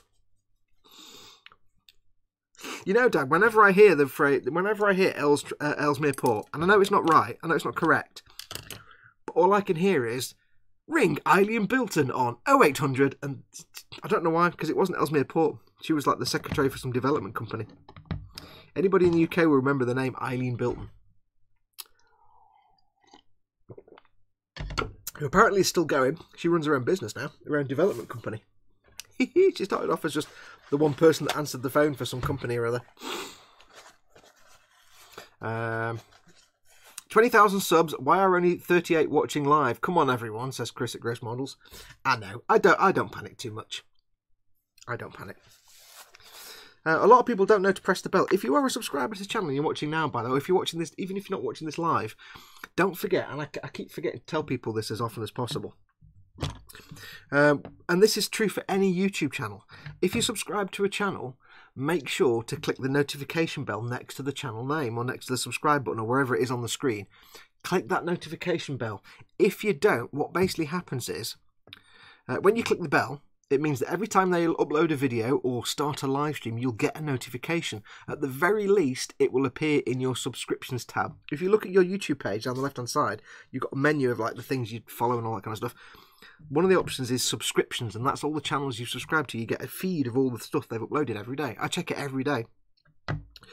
Um, if you don't click the notification bell, you'll never get told when something goes up live or when a video gets uploaded but you'll also never see it or not very often see it on your subscriptions tab. So if you do if you do follow a channel, mine or anybody else's, and you like their content and you want to know when the content goes up, make sure to not only subscribe, which is obvious, but tick the notification button bell thing. It just means you've got a better chance of seeing when your favourite creators put stuff up online. Uh, Josh Hollinshead said, "Did you use Agrax Earthshade or Nuln Oil?" Um, I'm guessing you didn't see last week, so I'll quickly tell you what I did. This was primed black. Um, it was sprayed with UMP airbrush primer because I didn't have any Chaos Black, but Chaos Black Rattle Can will do. It was prime black. Then we brushed on some, we gave it a good coat of Castellan Green. Two, it was a two thin coats, obviously of Castellan green. now, I wasn't too worried when I did that if they're a bit patchy here and there because we want some weathering and dirt. So it wasn't a perfectly green coat, it's a little bit patchy, but that's fine. Two thin coats of that. Then we went over it with Nuln Oil very generously everywhere. If you watched last week's live stream, it's all that's what I did last week. So if you want to go back, you can watch last week's live stream. But we give it a really overall coat of Nuln Oil. I mean, I got a big fat brush. I got, I got this bad boy and just went with the Nuln Oil. I made sure it didn't pool up, but I covered it from head to foot. It took like half an hour to dry. Covered it with Nuln Oil. Uh, and then when the Nuln Oil had dried, I did exactly what I've, you've just seen me do now, little circular motions, with the same Castellan green as the base colour. So what we did was, we painted it Castellan green, we washed it with Nuln Oil to darken it all, and then we dry brushed it with Castellan green in little circles in the centre of the panels to bring back the highlights whilst leaving the recesses still darker.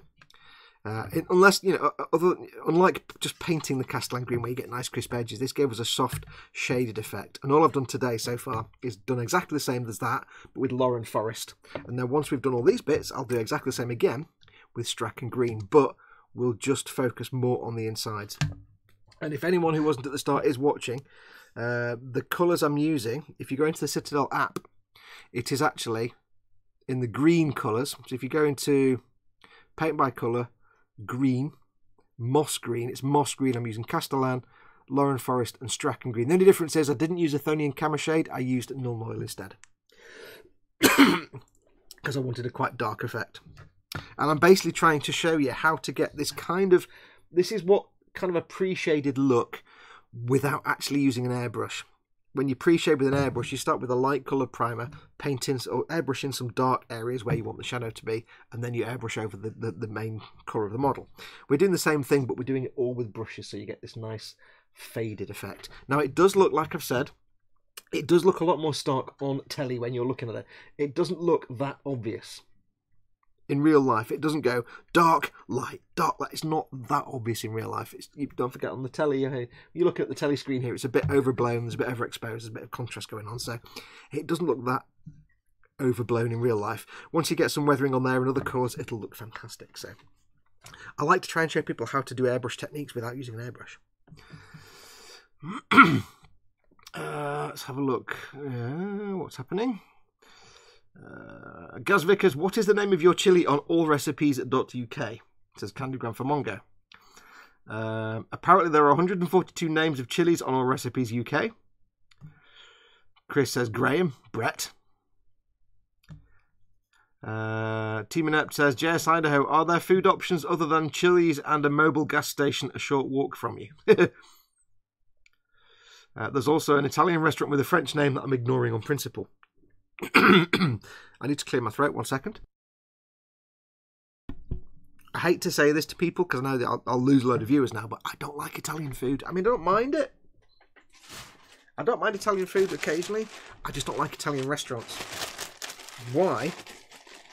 Because they're kind of. I just find Italian food kind of, for the most part, kind of boring.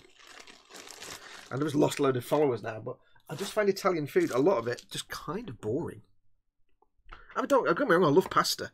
If I'm hungry and I can be bothered, I'll rack up a load of pasta and some sauce and have it for my lunch. But when you go into an Italian restaurant you pay money for food, it's kind of boring.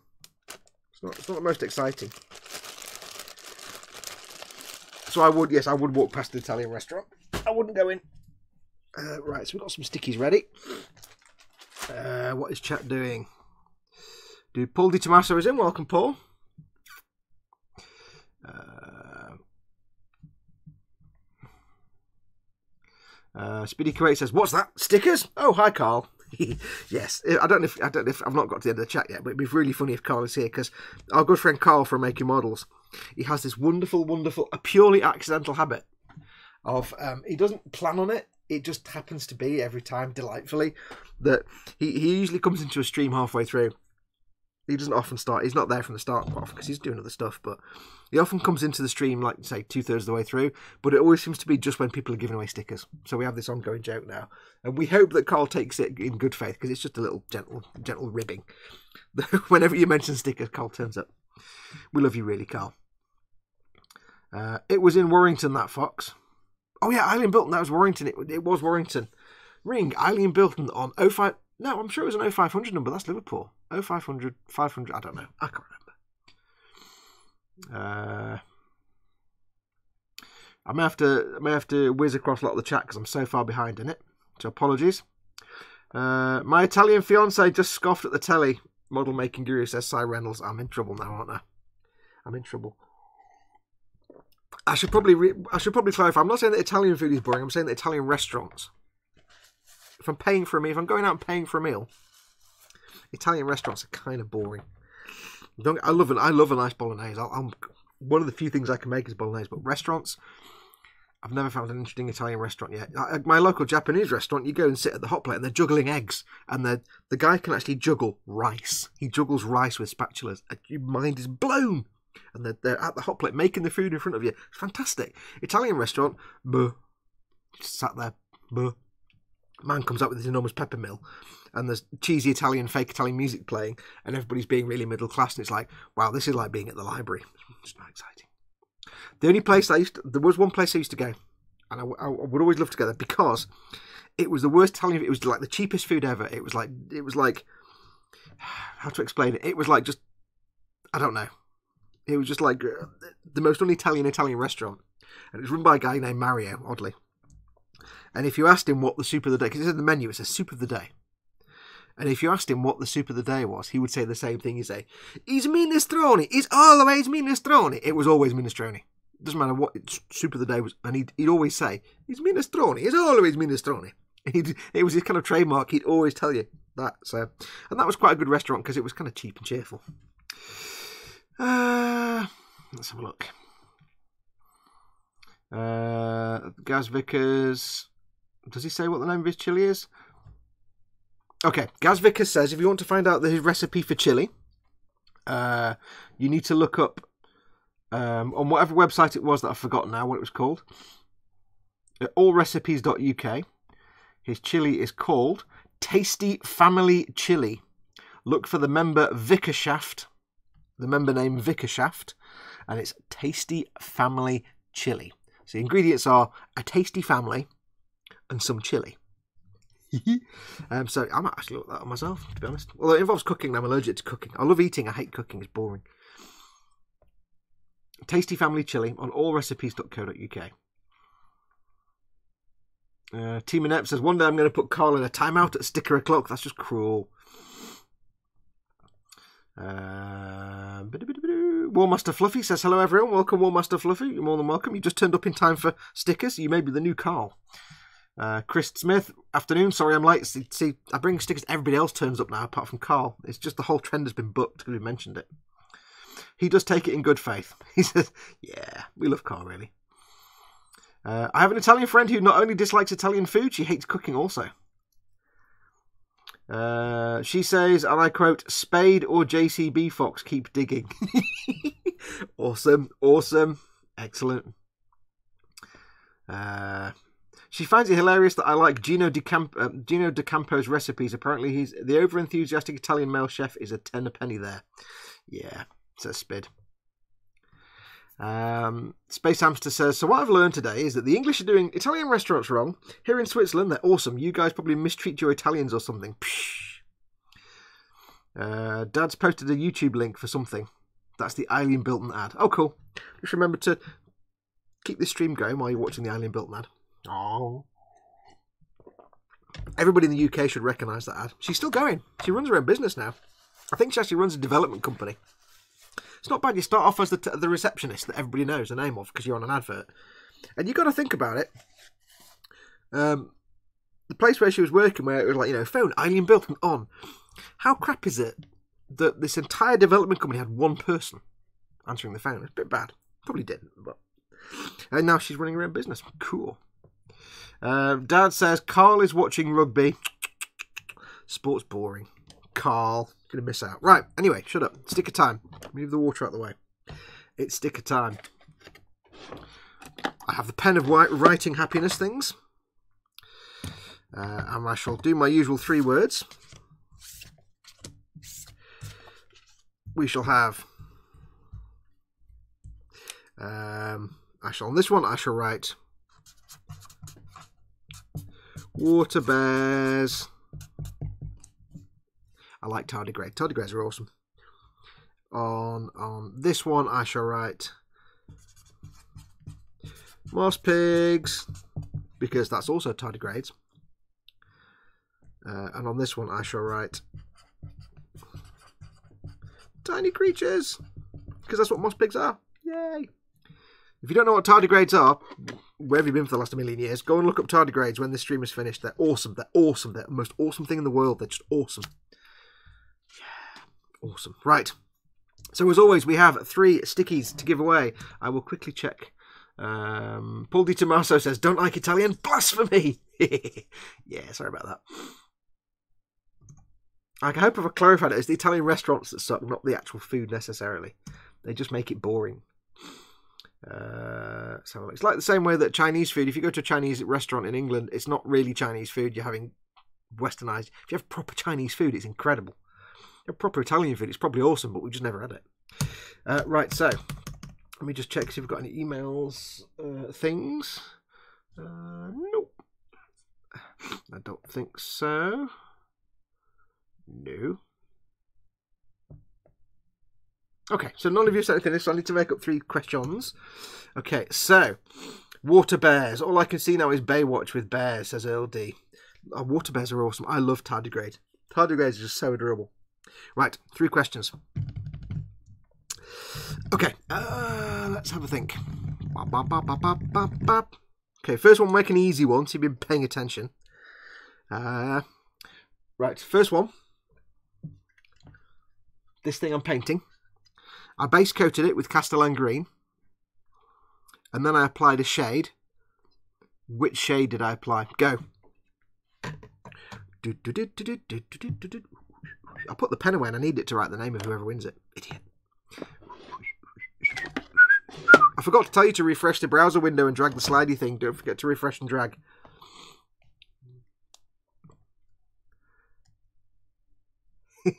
okay, well, the first person to actually get it right was Cynical Mank with Null Oil. We had Bulb Oil, Null Oil, and Mulm Oil. yep, Null Oil. Cynical Mank, you were right with uh, with Nuln Oil. Null, it's oil from the city of Null, apparently. Um, so while you decide which sticker you would like and tell us in the chat, we'll sit and stare at you. The half site says bulb oil is awesome. Yeah, I like to oil my bulbs. Space Hamster says, I thought you were supposed to throw shade, not apply it. No, you throw shapes. Uh, so everybody just stare at Cynical Mank for a minute while he decides which one he wants. Good old autocorrect, says Adam Clark. yeah, I'll have Watre. Uh, oh, you have water bears. Okay. So that's Cynical Mank. So you know what to do because you've won before. If you win a sticker, all you need to do is send me an email to where is it? I got the angle wrong again. Fox at modelmakingguru.com and give me your name and address and tell me which sticker you want. I'll put that to one side so I know it's yours. Um, but tell me, just say, you know, name and address and that you want a Scaly Models sticker. If you're waiting, I have got all the UK ones sent out now. All the non-UK ones from the last couple of months are still waiting to go out because I've not had a chance to get to the post office yet. I need to go to the post office and post them. So they're still waiting, so don't panic. Uh, Vamp and Muse, I am sending yours to Dad, and he will then send them on to you. I think that's what I'm doing. Um, if you're in the UK and you're already, and you're waiting for a sticker from last week, say send me another email anyway. If I've got three emails from you saying I've got I won a sticker over the course of a few weeks, then I know need to send you three stickers. If I've got one email, I'll only send you one sticker. I won't know if you've got five others. So every time you win a sticker, send me an email, even if you're waiting for a sticker. Right. So uh, that was that one. Good choice, says Dad. Yeah. Uh, Cy Reynolds says, "Never mind. I did a stupid when you see the email, Fox." Okay, let's have a look. Uh, so he sent me an email. I did see the email come in. Uh, well, you didn't put an answer in there. I'll tell you that. I don't see the stupid in it though, unless it's a, a fact that I should know and I've forgotten. Wait, no. Uh, okay, yeah, we'll move on from that one hastily. Never mind.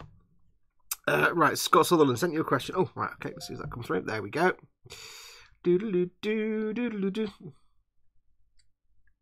Okay, right, that's a good question. Okay, so now we have. So I forgot to say this before, but before we do the question, refresh your browser and drag the slider. So refresh and drag, refresh and drag, refresh drag. Doors will open. Oxygen masks will drop from the ceiling. Set your seat backs to folded away. Right, so I'll give you a second to do that. I'll have a swig of coffee. Thank you for the question, Scott. Uh, do you want me to send you a sticker, Scott? Because I'm asking you a question. You didn't include your name and address. I know I can get it elsewhere, but it just saves me hassle if it's in the email. Feel free to send me another email. Just say, send me a sticker, dude. Uh, right, question. You can win either tiny creatures or moss pigs. Question is, everybody ready? Okay, what is the only officially bilanguage province of Canada? What is the only officially bilanguage province of Canada? Go. Now, Scott, you put a comma after that and then the answer, and I nearly read the rest of the sentence. what is the largest state in America? Texas. Nearly did that. Didn't quite, though. Uh, right, so uh, what is the only officially bilanguage province of Canada? Now, I don't check these. Remember, I don't check it. I just assume the person sent me knows what I'm talking about. He's, oh, Scott says, no thanks, it's okay, I've got loads. Dallas says gross models. Oh, Ted is like having Ted here. Uh, Cy Reynolds gets it with New Brunswick. Well done, Cy Reynolds. Uh, would you like moss pigs or tiny creatures? Everybody stare at Cy until he makes a decision. So yes, it's New Brunswick. It's the only bi-language, uh, officially bi-language province of Canada, apparently. I am reliably informed. I've got the burps. Ooh. Stare at side. We're going to sit here quietly now for a minute. Moss pigs. Good man. Reynolds. There we go. Well done. So you've won yourself moss pigs. Awesome. Send me an email. You know what to do. Email address fox at modelmakingguru.com. Name, address, and which one you won. That leaves us purely with tiny creatures. What kind of creatures are the best creatures? Tiny creatures. Handy tip for you. When it comes to summertime and you get nice weather, or if you're down if you're down on the other side of the world, now it's in summer, at some point just take a minute to go outside in your garden and just look and watch some of the tiny creatures that petal about in your garden, like little little ants and bugs and snails and even little tiny spiders. Go and watch little creatures in the grass and the plants. Just spend half an hour. It's the best way to de-stress. Unless you live in Australia, in which case every single one of them will kill you, so don't do that. Don't even leave the house. But outside Australia, if you just want to chill out for half an hour, it's nice weather outside, go and watch little tiny creatures doing their tiny creature things. It's a real great way to just chill out in a nice garden environment. Uh, let's have a look. Alaska's about three times the size of Texas. It's um, to, the, the the joke Zaster is it's an old reference from um, an old quiz show called Bullseye, where the the host read out, he said, "What is the largest state in Alaska? Texas." In uh, Canada, wherever it was, what is the largest state? He read the answer out as part of the question. Anyway, it's an old joke. Uh, right, so we've got one left. We've got tiny creatures. Uh, I shall pull a question out of my ass, and the question is. Oh. Um, question is. Question is. Uh, Alex Geis says the continental US is what counts. Hey, why do I see my hometown above? Says Jeff Longman. Have you just come in, Jeff? Welcome. Uh, we we're asking which is the the question for one of the stickers was which is the only officially bi-language um, uh, uh, whatever uh, things of your. I, I can't even get my words out. Somebody explain the question, please. I've forgotten it now. uh, anyway, yes, let's get the one. So we need to come up with a question. Question, question, question, question, question. Uh, oh dear. Right, anyway, here we go. Question. It's a Warhammer question. Everybody ready?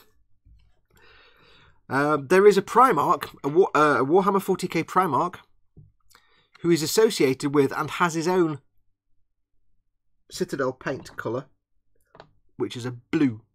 What is his name? Go. He's a Primarch, and his name is on a, a blue paint. Who is he? Oh, LD sent me a question, but I've just asked it. We'll keep that one for next week, LD. Zaster says, Great magic super. Damn, I could have won a speedboat too.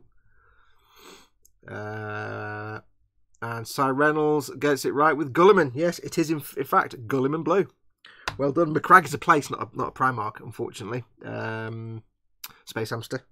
But Guilliman, Roboute Guilliman, or as everybody knows him, Rowboat Girly Man, which I much prefer. Rowboat Girly Man. So there you go, Si. You've won another one. Send me if you haven't sent the email yet. Say you've won two stickers. If you have sent it, send another email. You know how it works. well done to everybody for winning stickies. Yeah, I like giving stickies away. Now, don't forget, of course, like I've said this, oh, Sergeant Bose, hello.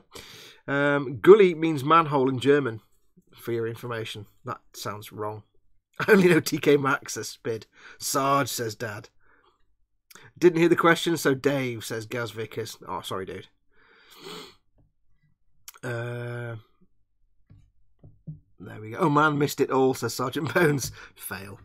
Um, what was I going to say? I was about to say something then. What was I about to say? Because just tell me, go back two minutes and tell me what I was about to say. Oh yes, don't forget, um, as I've said a few times, the Wheel of Giveaways, uh, which is our thing where we give away cool kits and prizes and stuff, that is still on hiatus at the moment. Purely because, um, and I've explained it before, the cost of shipping those prizes out is actually quite high for me, and I don't, I don't get a lot of income. So it's just on hiatus for the moment while I'm getting myself sorted out. Uh, and we will bring it back. I've still got a big box full of all the prizes. Those of you who've sent me stuff to give away as the prizes, I, I adore that fact. They're still sat there in the box. They're not going to be used for anything other than to give away. It's just right now, I haven't got 40 or 50 quid to ship out a big master grade box or something twice a month at the moment, just at the moment. So they're on hiatus just for a bit. I've still got the graphics set up.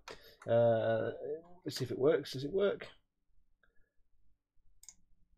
Where is it? Oh. That's right, Bob. See, it still works. I've still got that. It's just it's on hiatus, so don't panic. It will come back. I'm just not sure when yet. We're getting there slowly. Uh, la, la, la,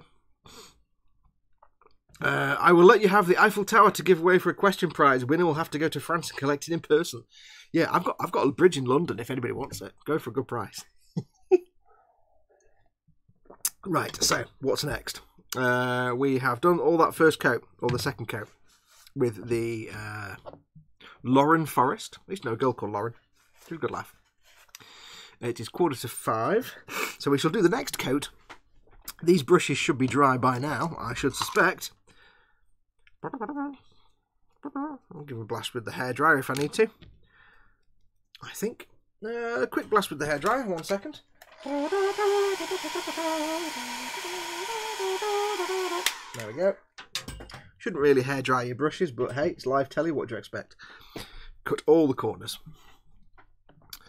Uh, I'm just going to refresh the chat so it's up to date. Because I think I'm lagging a bit. Right, so now we do the next colour, which is Lauren for uh, Straken Green, even. Get the right colour. Straken Green is our next colour.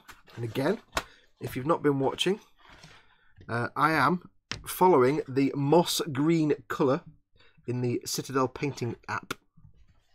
Moss green. Uh, in reality, he was blow drying his beard, says Sergeant Bones. Yeah, with my beard so big at the minute, every time I take a swig of coffee, half of it just stays in my moustache. So I've got a piece of tissue over here for the coffee cleanup duty.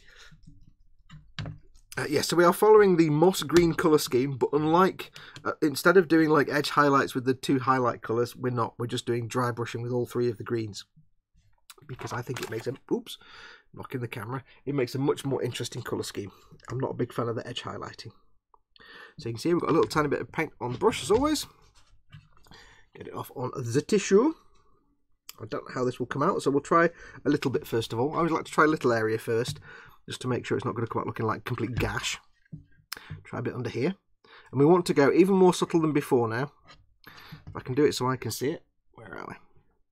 We don't want a big splub of colour. We don't want to really cover an area as big as we did a moment ago with the middle colour of green. So we really want a smaller highlight area. I may go just as far out, but I'm going very lightly outside the central area. So I'm going a bit heavy there, and it's a bit of a blob of paint, so I need to fade that out. Okay, so now I know this little test panel has sort of taught me how the paint handles. Because if I go too heavy with it, I'll start making a really clean looking tank. It'll look nice and clean, which is not what I want. But you can see here, it now looks nice. It's got this like green highlight in the middle. It looks a lot, compared to how the tank originally looked when we started, which was that kind of dark green colour. That's how everything looked when we started. Then we added the Loren Forest and it looks like that.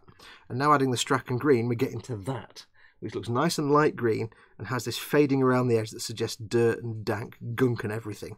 And that's the kind of green we're looking for, is that's a, a real sort of Zeon green. If you look at if you look at some of the, the UC Hardgraph kits for some of the Principality of Zeon vehicles, they're often that kind of light green colour. And that's what we're looking for. Remember, if you're not if you didn't watch this at the beginning and you're not seeing one of these before, I'm building my Warhammer army, the unending forces of the Holy Contrivance. But the theme of my army is the Principality of Zeon from the Mobile Suit Gundam anime universe. And if you don't know, there is a whole, I made up a whole lot of fluff as to why there are Zeon vehicles in the Warhammer universe. There's, I've actually made up fluff in my brain to explain all this. And it's quite clever, I thought, so there you go. So, and if you haven't watched one of these before, you've not seen the earlier episodes, what we've done so far, what I've done so far, uh, here is the plan. Amongst other things, we will have the bog standard Astra Militarum, the grunt troops, these guys, will be painted like Zeon grunt troops. So the vehicles will be in shades of green. Their uniforms will be mixtures of greens and dark greens and some sort of yellowy greens. Uh, they'll have brown boots. The boots will be like a brown leather colour. And some other colours. We might have some of the guys painted up to be like TriStar's ace pilots. This is for the Grunt Astra Militarum. Uh, uh, we have we have some Tempestus Scions. They need painting up, and they're being painted up in red colours. And I'll explain that in a moment. They're being painted up in reds. So all the bog standard Astra Militarum vehicles will be in these shades of green. There'll be some variation, not all be the same, but they'll be in shades of green. I'm going to have three knights, three Imperial Knights. I built one. We're going to have one painted up to look like a Zaku. And that one's already built and painted. That one is all rusty and dirty and covered in mud and dust and horrible. It's all painted in greens and it's got lots of Zeon markings all over it. That's a that's going to be a Zaku. Bog standard cheap grunty suit. There'll be a, the other two knights I'm going to get built. One will be painted up like a Gouf. So it'll be all in shades of blue and it'll have Ramba Ral symbol on it. It'll be a little bit weathered because it's seen some use but not horribly weathered. And then last of all, we'll have Char's Zaku, custom Zaku. And that will be painted in shades of reds. And that will be nice and clean. It'll be a clean Imperial Knight. Now, the Tempestus Scions, being the elite crack troops, they'll be painted up in shades of red to match. They'll be like sort of partnered with Char's Zaku, Char's Imperial Knight. So they've all got like nice red uniforms. Their, their outfits are actually painted to look like Char's. They've got red uniforms, uh, white gloves and boots, and they'll have gold trim. But hey, it's not really kind of Char, but they'll have gold trim because why not? Uh, and they'll have silver helmets.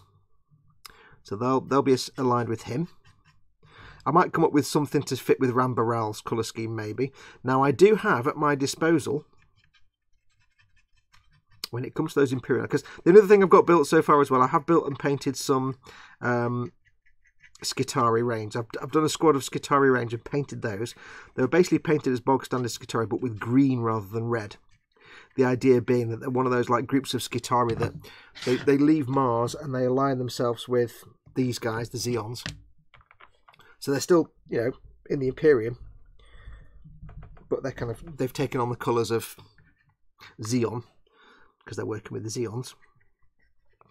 Um, what was I going to say? I was going to say something. Um, brain, brain, brain, not working brain. Yes, I have at my disposal when we're doing the Imperial Knights. I've done one, so I've done the I've done the Zaku, that's done and painted.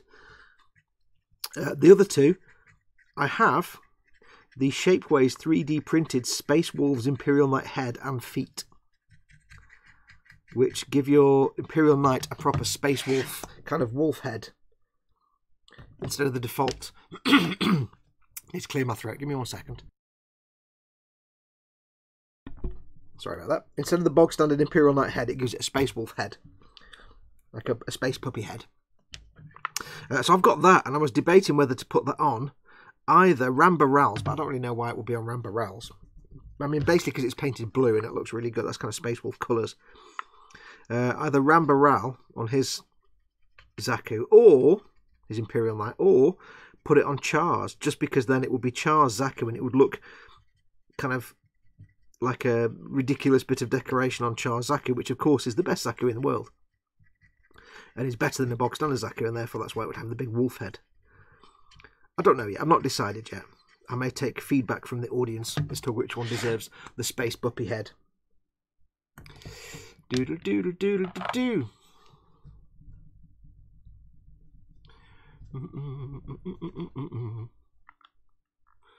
Uh, so yeah, gonna have three Imperial Knights. Now the problem I've had is I've never actually played Warhammer, not yet. And the problem I've got is that I keep building and painting all the units that I don't have the codex for, and that I haven't. I keep forgetting to download the codex because I'd rather have a hard copy of the codex and stuff.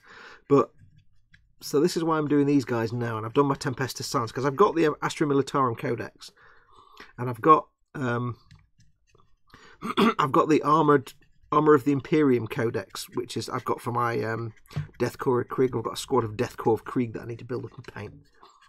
So my hope is that at some point, once I've got these guys finished and when I've got my my Scions painted up, I can actually get down to my local store and get learned how to play the game. Because when I started doing Warhammer, I just started out doing Warhammer because the models were cool. But as I've as time has gone by, I've got more and more intrigued by the actual game itself, and now I'm at the point where I'm like, I really want to actually try the game out. I might, I might hate it, I might not like it, but it might be awesome, and I don't know yet. So it's gone from model maker to actually wanting to play the game. So that is what I will have to do. Now, I hope you can see here how this light green is really making this come alive now. And again, there will be weathering on top, so again, keep in mind, it looks a lot more stark on your telescreen than it does in reality. This looks like it's a, a, medium green with lots of light green patches like there and there. It doesn't look that bold and bright when you see it in real life. And once I get some dirt and weathering on here, it'll all blend together. The important thing when you're doing any kind of paint scheme like this, especially with this technique, uh, are you doing different different colours in multiple layers? The trick is not to get discouraged in the early stages because these things never look like they will when they're finished, when they're halfway through. I learnt this when I did lots of drawing and painting as a kid. Everything looks terrible until it's finished and it doesn't make sense until it's finished. So don't lose heart and think, oh, it looks the, green's too bright and this is too bold and that doesn't stand out right. And it looks fine. It looks fine. So you can see so far we've gone from this, the dark green, dark and lifeless, to that with the medium colour, and now we've added the light colour, which has enhanced it even more. And we're just adding to the shadows now. With this colour, although I'm focusing mostly in the middle of the panels, I'm doing a fair little bit of brushing over the edges as well, just to soften if I need to. If this if the contrast in real life to my eyes is too dark between the light and the dark, I can just soften it a bit by going over the darker areas, just a tiny amount, really, really lightly, just to lighten it a bit and it helps blend it together. And again, it's little circular motions, little circular motions. So I'll get this side done, and then we'll have a quick look at the chat.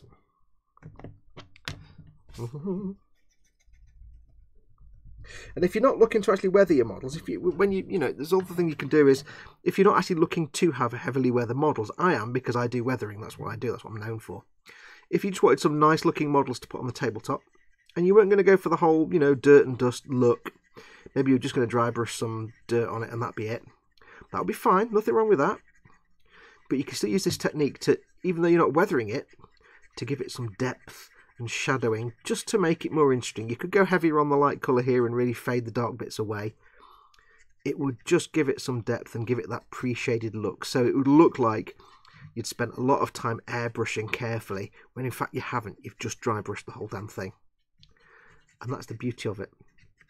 A lot of making models and painting models is using simple, easy, straightforward techniques.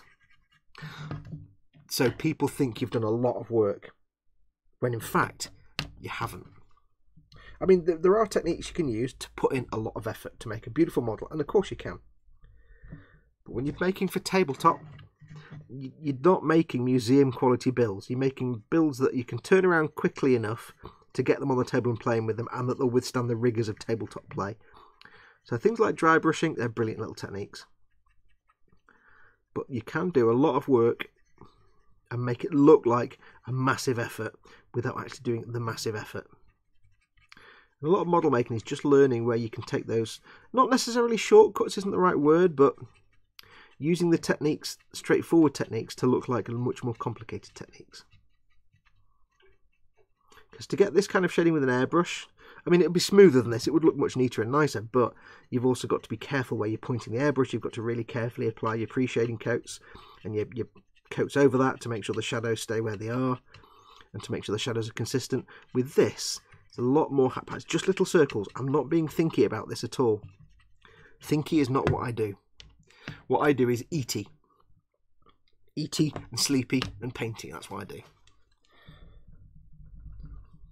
Uh, AdMech in general are harder than you think. I'll talk about. I'll, I'll, come to that in a minute. Then they're talking about um, Belisarius Cawl and Admech and things like that. I have got my little squad of Skitarii Rangers. They were quite fun to paint. They were quite fiddly, but they were quite fun. But they required a fair bit of filling because they've all got great coats. There was a fair bit of filling had to go on on the gaps in the great coats.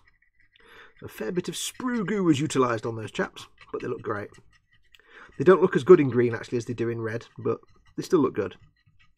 But they do kind of work better in red. But hey, I made up fluff. I don't care.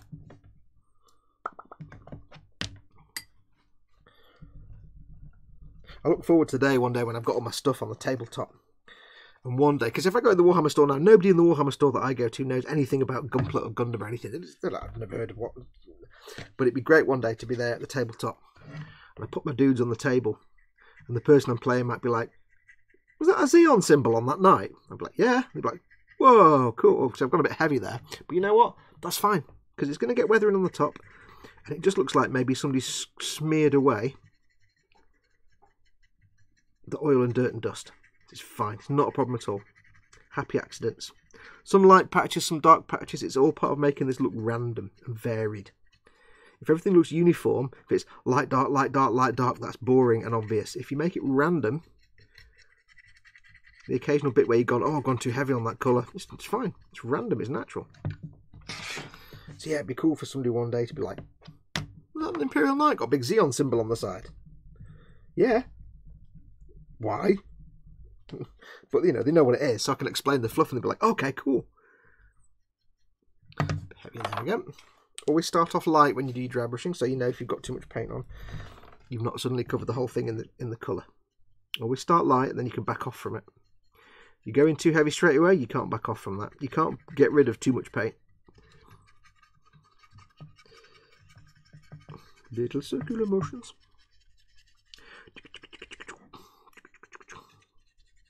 It's quite funny once when I was uh, at one point I was in the when I was first starting to go to my local Warhammer store and get to know the manager there at the time. He kind of vaguely knew what Gunpla was, but he didn't know much. And I was explaining to him what I like to make and stuff, and he went, "Oh, you'd like Tau then? This is like a Gundam." Because I went in one day and said, "We've got a kit for you. It's, it's, it, you might you like your Gundams, so yeah, here's a here's a Ghostkeel." I'm like, "Yeah, okay, I can see that. I'll give you props for that. Give you credit for the for the the link." Uh, Space Time says, "Yes, I like the Skitarii fine, but like you said, fiddly and the gap in then cloaks. if you if you do it with the sprue goo, it's not actually that bad." you get good at using the sprue goo, it's not that bad to fill. Like I did with my uh, librarian in the Warhammer Conquest thing. Actually makes it a lot easier. Using sprue goo makes it a lot easier. And I found the easiest thing to do with the Skitarii was not assemble the torso to the legs until you've painted inside the coat and stuff. It sounds really obvious, but a lot of people actually, like, you watch Duncan paint it, he assembles the whole guy, and it's like, really? Because I ain't getting inside that back of that coat without painting everything. So yeah, just don't don't assemble the, the top and bottom half together until you've actually, you know, um, painted the, the torso. Leave a little bit free. Because what I did was I mounted the torso on a cocktail stick in a fork. And same and but the legs I glued to the base. And the torso, I drilled a little hole and mounted it to a cocktail stick with some PVA glue, uh, and then stuck that into a cork and that allowed me then to paint the torso inside and outside without having the legs in the way. The legs were just glued to the base. Get the legs painted up and when they're ready, just glue them together. Kept a little bit of the torso inside free of paint so I could glue it to the feet, to the, to the lower torso, obviously, the lower body. All good fun. I did enjoy painting them though. It's mostly metallics and you can't go wrong with metallics with Games Workshop colours, with Warhammer, uh, with Citadel colours.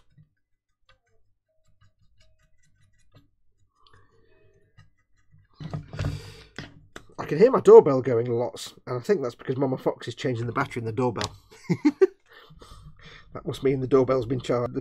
Our doorbell wasn't working, and we reckon the batteries had gone. Yeah, there it goes. It won't turn off. I can hear her shouting, and she's like, "Shut up! Shut up!" She's shouting at it now. she, there you go. She, she keeps pressing the button. she's probably pressing the button while she's trying to get the battery in the box. I love it. Shut up. She can hear it downstairs. Shut up. Bless, bless Mama Fox.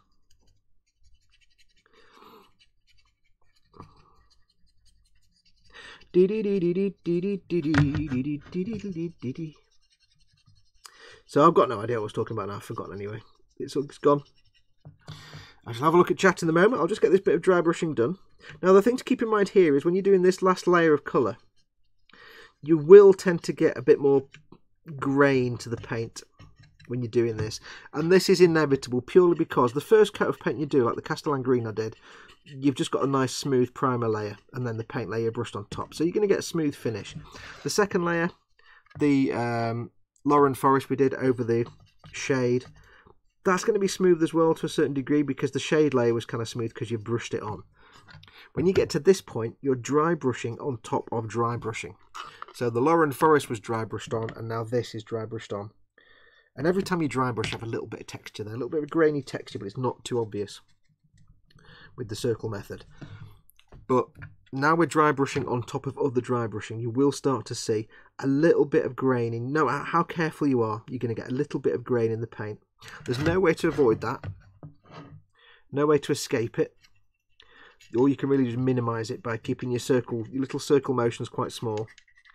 And again, don't worry, because I'm going to be doing weathering over the top and that will hide the texture and grain even more. So don't worry if you start getting a little bit of grainy texture, I can see some there.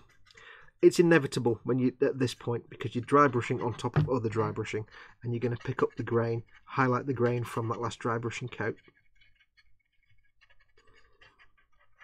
I mean, if you wanted to get really because of anal about it, you could do that dry brushing coat and then matte, uh, you know, gloss varnish it and then dry brush over that. But there's really no point to do that because at the end of the day, it's a military vehicle. It's probably got a hastily applied paint job. It's going to be covered in dirt and dust by the time we've finished. Nobody's really going to. Know. It's going to be seen from that far away on a tabletop. Nobody's going to notice. Don't sweat it. You're building a tabletop model. It's not. It's not imperative.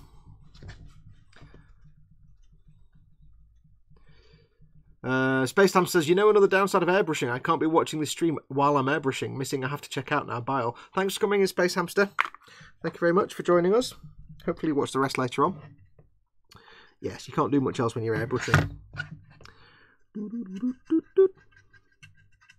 Unless you're um, Bjorn, in which case you can do a live stream and airbrush at the same time. yeah.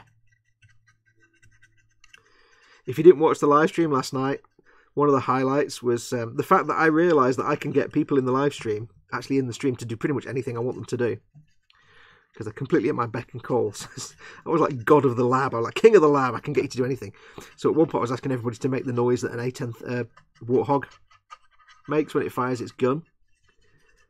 So everybody was doing their best A10 Warthog gun impression, including Bjorn, uh, Bjorn, who actually had his mask on at the time, his respirator, and we said, right, make the noise, and he went, his, and it, it, sounded fantastic. Cause, but then he had to set, take his mask off and kind of wipe his face because he just basically spat all over himself. But yeah, it was good fun. That it was good times last night. If you didn't join us, or if you're not familiar with the Model Makers Boom Hut, just so you know, because we're going to be doing it for another few weeks. The Model Makers Boom Hut. Uh, if one of the mods could please post a link in the chat for me, uh, the Model Makers Boom Hut is a Facebook group for model makers. Uh, and it's a really friendly place, unlike some other groups where it's all snarky and bitchy and people just get really nasty and everything. It's a really nice, friendly place. It's carefully curated to not be full of snark and bitching.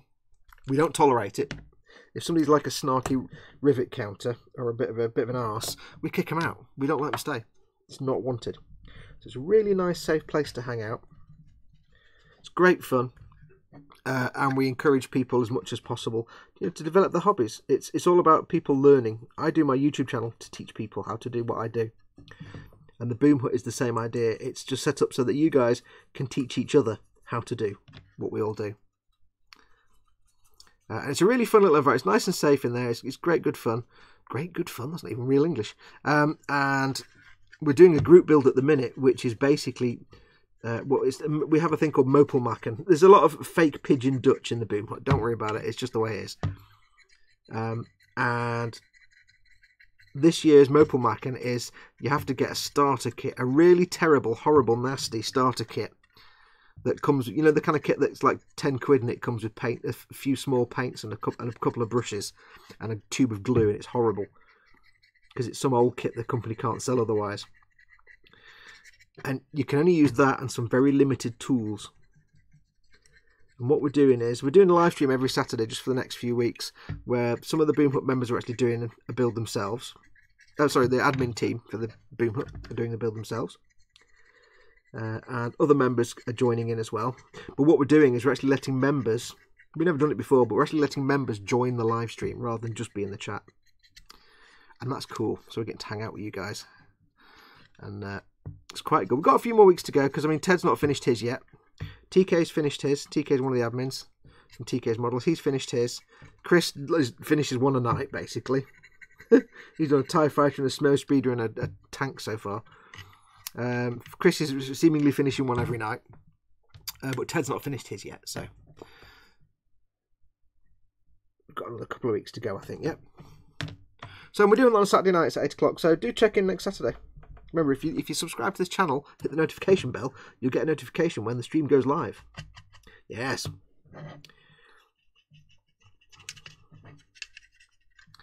Doodle doodle doodle doo. Now I can't stop doing this dry brushing to do stuff in chat because, um, like I said before, I don't want this dry brush to suddenly dry out while it's sat there for 10 minutes. Because then I have to rinse it out and start again. So I'd rather get the dry brushing bit done first and then we'll do some chat. So I'll get this bit finished and then we'll see what chat's doing. and that should take us to home time then, I think. It's that time when I ask everybody, what are you going to have or what did you have for your dinner? I don't know what we're having tonight. Uh, last night we had, it was a sourdough pizza with basically just mozzarella and tomato, which sounds really boring, but they're actually really nice because I'm a meat boy. I like meat. I like meat on my on my food and it sounds like just it's just cheese and tomato, but it's like you get the cheese and tomato base and then slices of mozzarella or little discs of mozzarella uh, and little tiny cherry tomatoes cut into halves all over it. And then what I do is I took a spring onion and I chopped it into fine. I, I finally chopped the spring onion and sprinkled it all over, and then put the thing in the oven. And it's got a nice, refreshing, sort of clean, crisp taste. And it's quite light as well. It's quite delicate. You can eat it, and once you've finished it, you don't even feel full. It's quite refreshing. So we had that last night. Uh, but I don't know what I'm having tonight. No idea whatsoever. Because Mama Fox was going to do a slow cook. She was going to do a slow cook uh, this morning and put it on throughout the day. Because she likes doing a slow cook. A Bit of, we've got some beef mince and she put some veggies and things in there and all that kind of stuff. But she completely forgot. So it was like, oh, no slow cook tonight then. Oh well. So we'll see. We'll see what we're going to have tonight. I'm not sure yet. We have to go rooting through the freezer and see what we've got. We made you take out. I do not know. So what are you guys having for your tea? Or if you had your tea, what did you have? Tell me in all the words, describing with all the juiciness and all the all the all the writing what you had or what you will have for your tea. And make me very, very hungry. This is where everybody I think my streams will end up with everybody getting really fat because we talk about food all the time and it's just good times, man. There you go. It's coming out quite nicely now. It's looking a bit lighter, see? Compared to that, it's like day and night. That look at that if I get the light on it properly. It's like day and night. You wouldn't know, would you? Not finished yet, but what we've got left to do now, we've got the top here, and we've got the dozer blade, and we've got the under area, the undercrackers. Yeah, das ist die Undercracker, ja, das ist richtig. With little fiddly bits. Gross Model says, I shall be doing meatballs and spaghetti. Cy Reynolds says that the missus says, aha, Italian, ah. yeah, I, I can't say it more than I have already. It's Italian restaurants I don't enjoy. Italian food is all right, for the most part. There are some boring Italian dishes. It's, it's, it's Italian restaurants that are boring. All food is good. Italian restaurants are boring. I think Italian restaurants are boring because they take themselves too in the UK because they take themselves too seriously. You walk into any Italian restaurant, they're all trying really hard to be a, a, a, a serious, like, oh, yeah, a proper restaurant, oh yeah, oh yeah. And they're either ridiculously overpriced for bland food, or they're just like a dive, but they take themselves really seriously because it's Italian and therefore arty farty. Whereas in reality, it's it's just Italian food. It's not,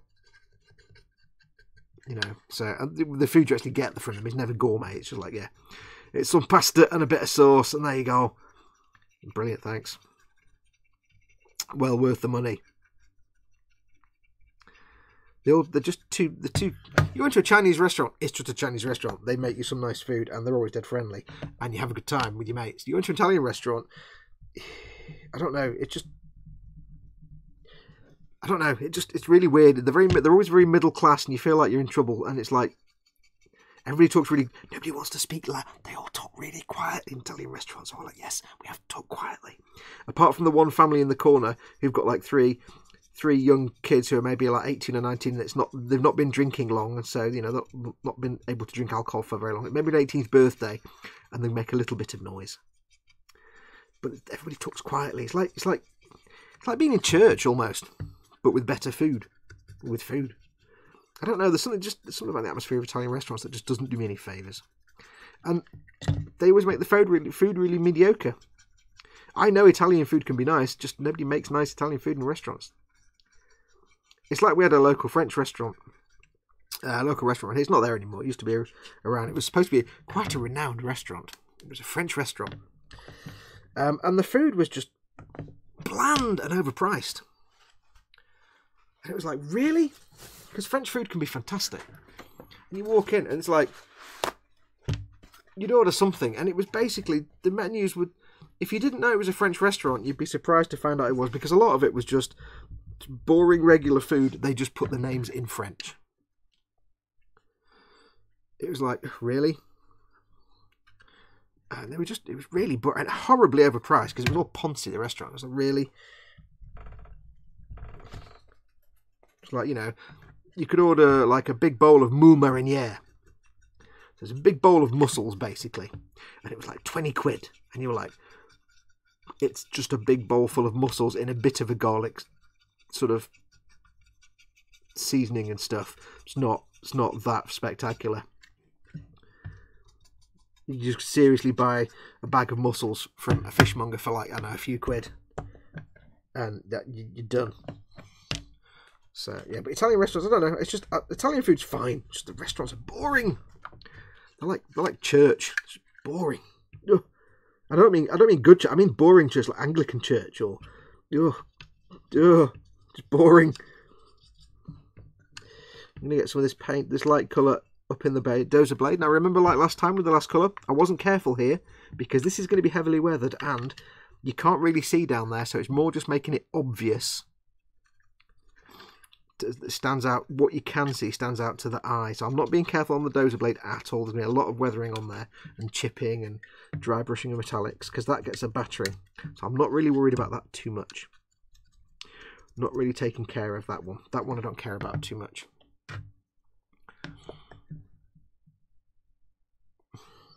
Cynical Manx I went to Bella Italia last night, Fox. It was very nice indeed it's a chain restaurant.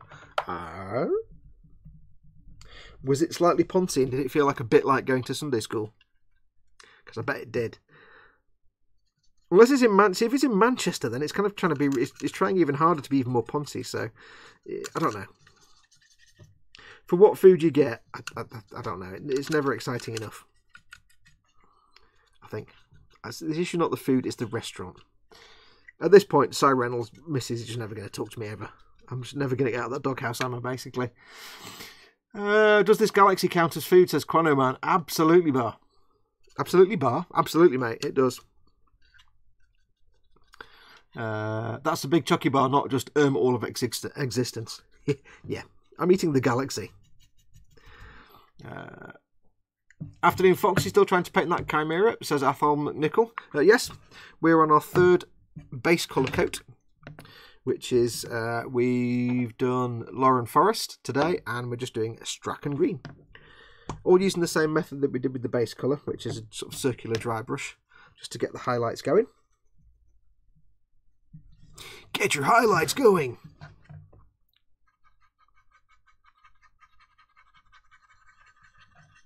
Do do do do do do do do do do do do. Now a lot of this will be covered up by the turret, so I'm not being too careful here. I want to get some some definition in there. It's a fingerprint there. The other thing you'll spot when you do this when you do this step, if you've got any fingerprints in your paint or your glue, yeah, you'll see them now. You'll see them now. Oh yes, oh yes.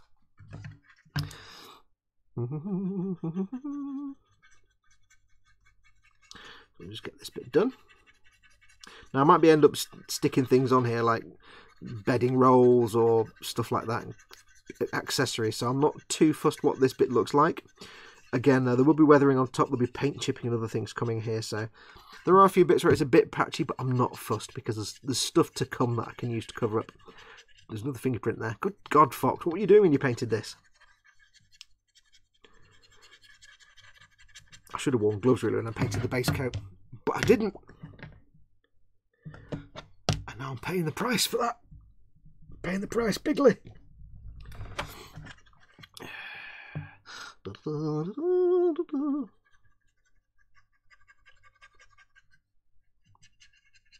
So this bit here is a bit patchy, but A, there'll be a turret over here, and B, I'm going to put some you know, chipping and weathering, so it's fine. It's all gravy. I just want, all we're really doing is building up the shadow effect. It's a long round the houses way to get the same effect that you do with airbrushing with pre-shading. So that ultimately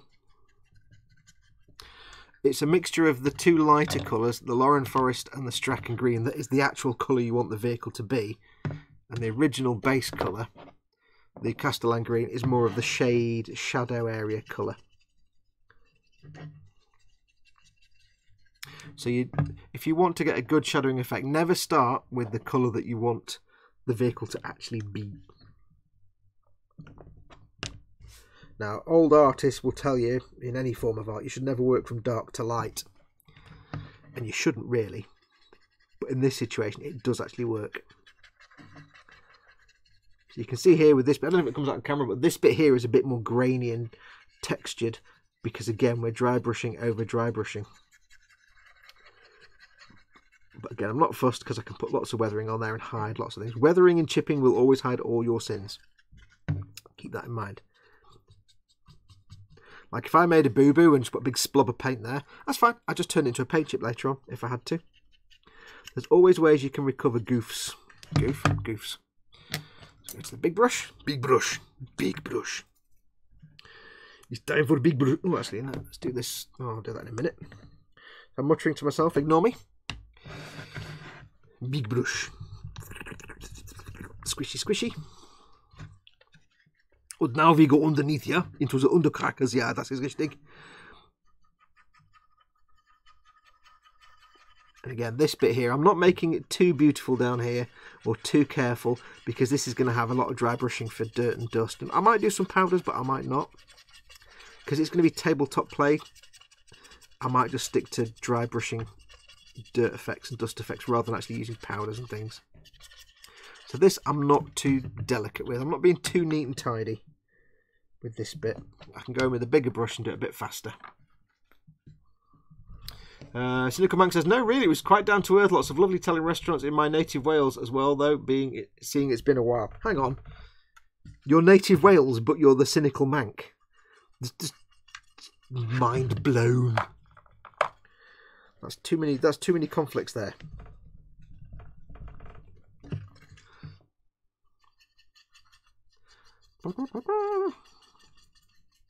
Then again, if you're not native to Manchester and you move to Manchester, you'll become a cynical Maclock quick enough. It's it's it's inevitable. If you live in Manchester, Manchester, yeah, uh, I'll, I'll let you off actually because yeah, it doesn't take long to actually become a cynical mank. yeah. Before anybody complains, I'm complaining about where I live, so I'm allowed. It's allowed. Nothing beats mince and tatties, says Athol McNichol. Oh yeah, mince and mince and well, mince and neeps and tatties. Oh yeah, neeps and tatties. What kind of fish do you guys usually use for fish? I'll get to all the chat in a minute properly, but I'll just things that I'm picking out on this particular screen. What type of fish do you guys use for fish and chips? Asks Paul Di Tommaso. Um, it depends on the fish and chip shop, but most of the time it's cod. It's battered cod. It's cod in a crispy batter. It's a big fillet of cod, bones removed. It's a big, massive piece of cod.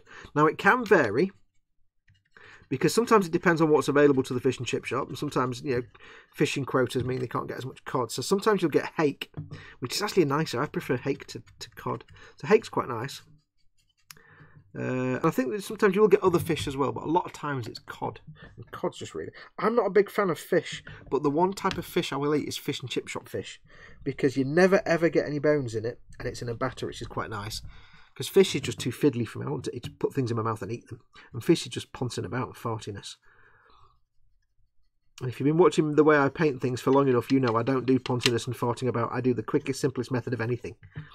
So eating fish, yeah, Fish. I want fish and chips now, actually. Oh! Every time I do a stream and we talk about food, I end up wanting a particular kind of food by the end of it.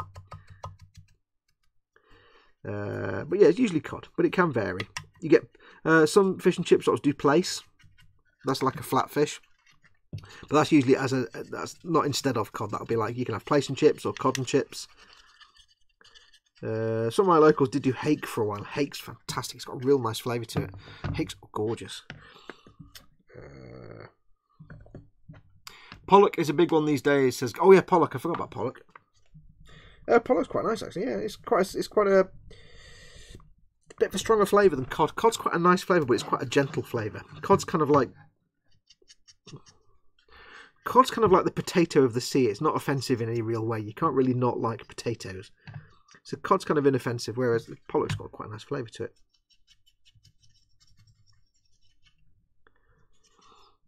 Yeah, I forgot about pollock.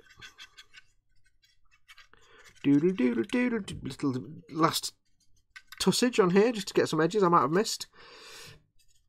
I'll do some real stabby dry brushing on these edges just to get some little scrapey scrapey marks. Just helps to build up the idea. Because when we do paint chipping, we're going to be using lighter greens uh, and some metals and rust colours.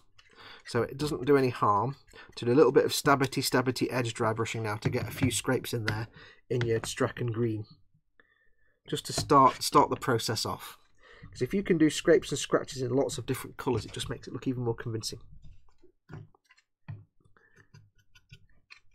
So we'll just jab it on there, we'll scrape it across there. This bit's going to be metal anyway, so it doesn't matter. We'll get some stabbity stabbity going on. Get some on that edge there.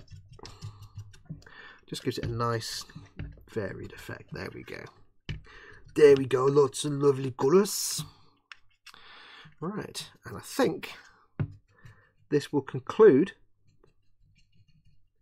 And you can see this this technique is so flexible. I can go in with a big fat brush and just gently go over that, and it's fine. It works. It looks great. It's not causing any problems.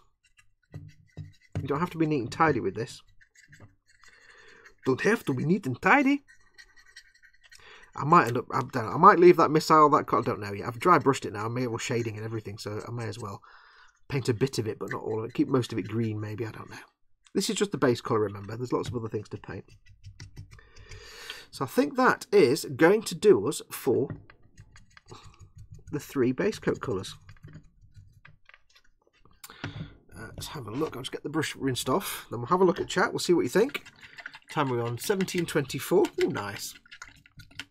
Vietnamese river cobbler tastes fantastic, says Earl D. Ooh, yeah. Can we get that in a fish and chip shop? Foxy, every time you do a stream, the topic goes to food, says Scale Model Muse. I know. Um, I don't know if you're in when I said, but I, I do need to send your stickers for you and Vamp to Dad, by the way. What's pinging? Something's pinging. Is that my phone or is it my iPad? Don't know what's pinging. I don't know. Uh, right, so let's put that there. Have a quick look. So, what do you think, guys? I've not painted the turret yet. Obviously, I've got to do that as well. But remember, it does look a lot more stark on telly. I've said this a few times now. It looks a lot more stark to you guys on telly than it does in real life. In real life, it's a lot. The blending is a lot softer. The fade between the light and the dark is a lot more shaded, and the dark isn't quite as dark, and the light isn't quite as light. But remember, this is just the base colour. So on top of this, we have all we've got to paint the tracks and other bits and bobs. We have all the details to paint. We've also got to do some chipping. We've got to do some maybe some streaking and some other weathering. We've got chipping and rusting to do and lots of other effects, metal, bare metal and stuff. So this is just getting the base green down, and I'm I'm quite I'm quite pleased with that. I think I'm really pleased with that. That's quite nice. And in reality, that would probably been a few hours work.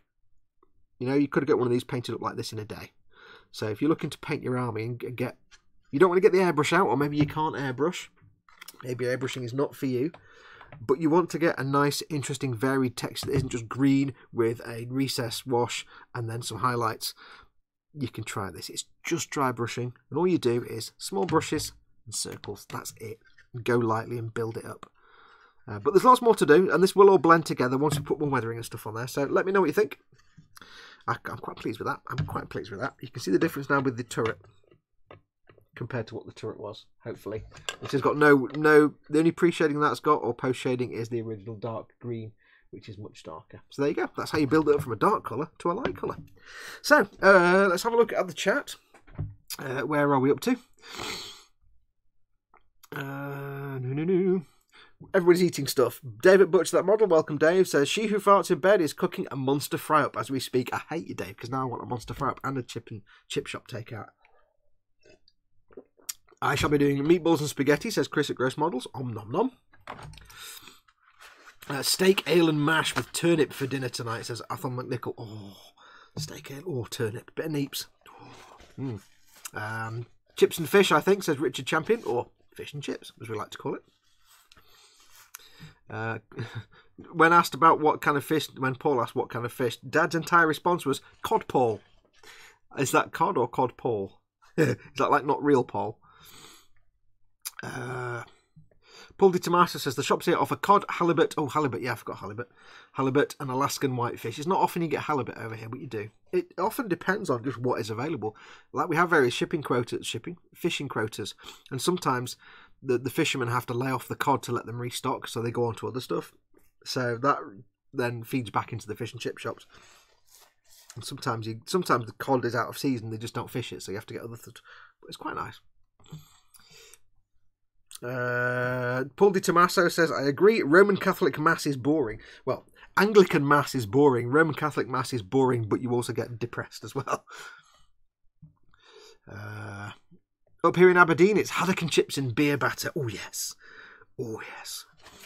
Um, Dad loves Pollock. Fox, uh, done that one.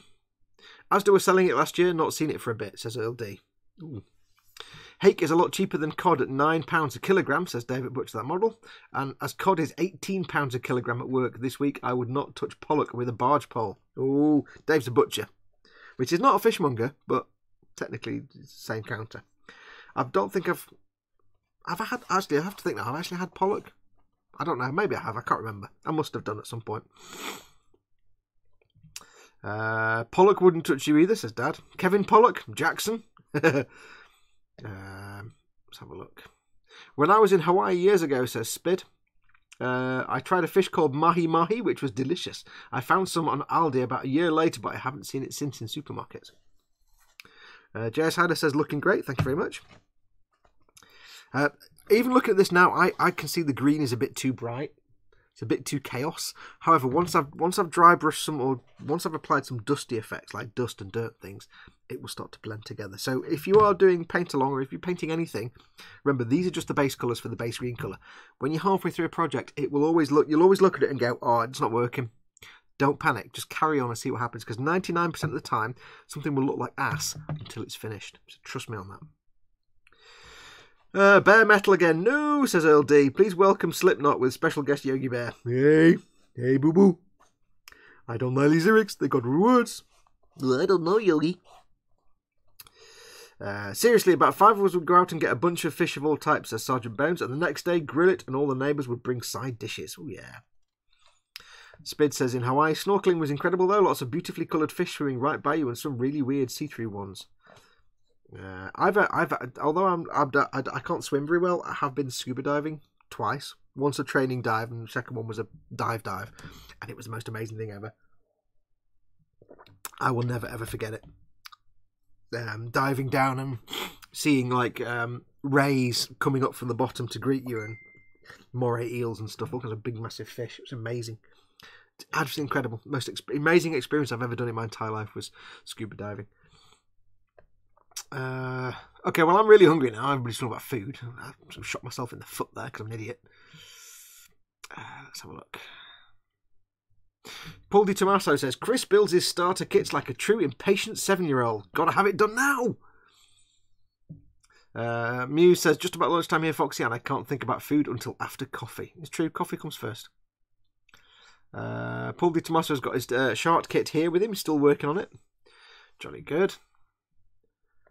Fox, have you tried the Windsor and Newton varnishes in place of the more expensive modelling ones? Asks Beyond Hope. You mean like the Galeria and stuff?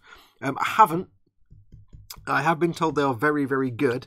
The only reason I haven't is at the moment I haven't actually needed to buy any new varnishes because I've got tons of the tons of the uh, ammo ones here, and I've got quite a few cans of Humbrol uh, 49 rattle cans.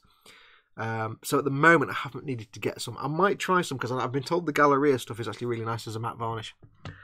Um, and the only two things I really look at is uh, if it's going to be a tabletop playing model, it needs to be durable. If it's going to be a shelf queen, it's going to sit on a shelf and look pretty.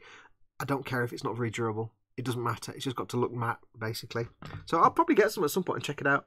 Uh, enough people have told me to try it out, so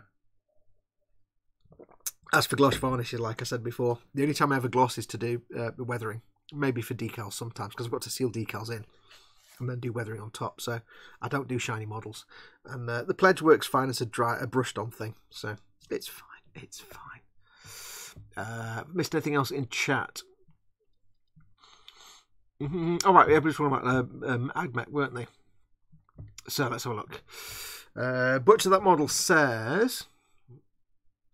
Uh, so tempted to buy a Belisarius Cawl, not that I want an Adeptus Mechanicus armor, I just love the look of him. Uh, you, your basic answer is you should. Uh, Alex Geis says the 1144th Neo Zeong is 930 millimeters tall. It is a monster. Monster. Beyond Hope says, isn't the 1144 Saturn V rocket almost six foot when assembled? Chris must be 1 280. I don't know what the conversation was. I think there was a conversation about Chris being tiny again. Oh, somebody said, that, Chris, I didn't see you. He says, I'm being very quiet. And that dad says that's because he's 1 144th scale. Bless him. Chris is actually not that short, but we like. The whole reason we say that Chris is tiny is not actually that tiny. He's about the same height as me, but. Um, Chris and Paul sent me, well, one of them sent me a photograph once, and Chris and Paul go do archery. They do arrow flying, throwing things. And they sent me a photograph, and it was Chris um, getting a big bear hug from somebody in their archery class who I think they call him Hodor. And this guy is like about 18 foot tall, but in every dimension. He's like a big, he's kind of just like Hodor, but I think that's, if I remember right, Chris, tell me if I'm wrong or Paul, I think you told me your nickname for him was Hodor because he's just this big, massive bloke. And it was like, Chris was stood there, and like, this bloke was that tall, and Chris was there, like, getting a big bear hug off him. It was like, Chris, big, tall bloke. It's like, and it made Chris look about two foot tall. So from then on, we've always like mocked Chris a little bit. Looking at this missile, I'm not happy with the finish on that. Have to repaint that, paint over that. It's a bit too grainy for me, that one. It doesn't really matter, I'm going to paint over it anyway. But I'll probably repaint that in different colours. Um, the Belisarius model looks awesome. Go for it, Dave. Yeah, if you if you like the look of a kit, Dave, just get it. I've got all the Warhammer stuff I've built that I'm never going to play in a game, but I just like the look of it. Um, uh, Belisarius Cawl looks nice, but also like a nightmare to paint, says Space Hamster. Um, if you watch the um, Duncan's video, it actually doesn't look that hard. I painted the little AdMech guy. Um, he's not the big Belisarius Cawl, but it's like you get the you get the Skitarii range, and then you get the little sort of HQ, the the priest, the tech priest, and he's actually great fun to paint. He wasn't that hard. So it's just like a big version of him. So it's mostly metallics, which thankfully with the Citadel paints are really easy. Um, so I'd, I'd go for it. Go for it. JS Idaho. What the hell is a Pangasius? Don't know. Oh, Pangasius is a fish, says Sergeant Bones. Uh, payday of on Friday, says Dave. But Belisarius Cawl might have just fallen into my basket. Good girl. Space Hamster, I'm looking forward to the challenge. Uh, right, what's chat doing now?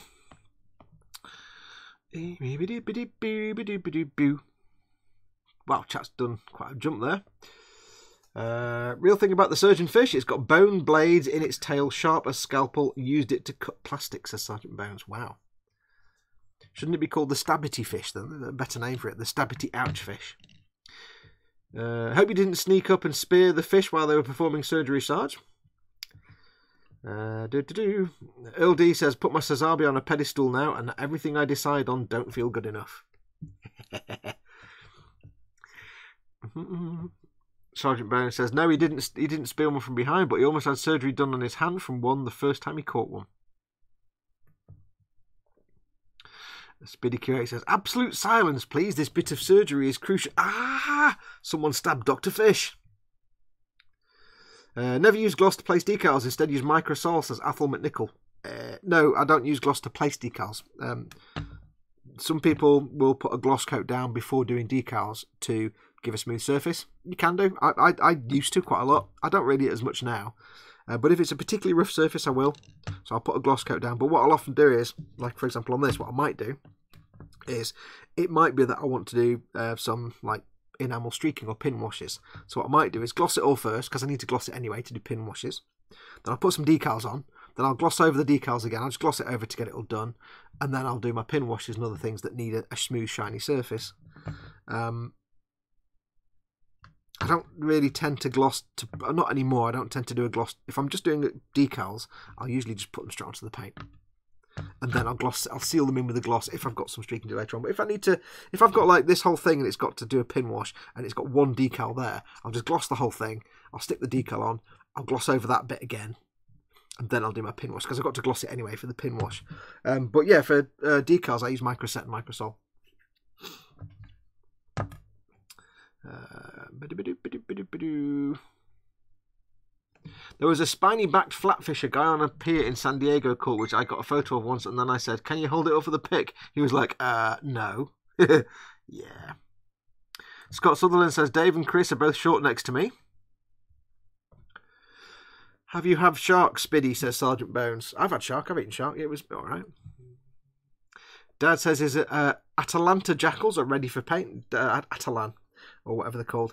Dad's making the um, Genestealer dudes on motorbikes, and they look mint. I might save up and get the big off-road truck thing, not the Goliath, the new one when it comes out. The little sort of uh, uh, oh, can't get my words out. It looks like a Humvee. I won't paint it grey though, because grey's boring. Uh, just realised, says Muse, I just realised my Warhammer shop is three years old on March the 9th. That means special game pieces will be given out. Yes, do it. What they also have sometimes is stuff that's in the back that they can't sell, like maybe it's been damaged or the box has been opened or there's a piece missing. They often give that away as little prizes, like, you know, raffle prizes. So go and check it out. I haven't. I have had octopus, squid, and several other odd fishes, but never shark, says Spid. I've eaten squid. I've eaten octopus. Uh, I've had shark about it. I'm not a big fan of fish. Ooh, I like that fox stabbity fish, stabbity fish. Ooh, Spesshammer, says Spid. Um, Matalan, Spid says Matalan jackals. Yes, from now on, Dad, your Atalan things are known as Matalan jackals. In the same way, I've got Primani Marines, Primani Space Marines. You've got your Matalan jackals. Sounds good. I shall eat that to the must-eat list. That says Spid. Cool. Right, well, I think what we're going to do, because I'm done now, I'm, there's nothing else I'm going to start now, because um, we'll leave it there. I'm not sure what's next. Detail painting, probably. Um, I'm going to leave it there. I've got to paint that bit. I'm not going to get that done in 20 minutes. Uh, we'll call it a show, I think. It's a bit early, but there's nothing more for me to do. Uh, I'm just kind of reading out chat now. So what we'll do, we'll call it there, call it a show. Uh, thank you for watching. Do let me know in the comments if you're not watching this live, or if even if you are, what you think of that so far.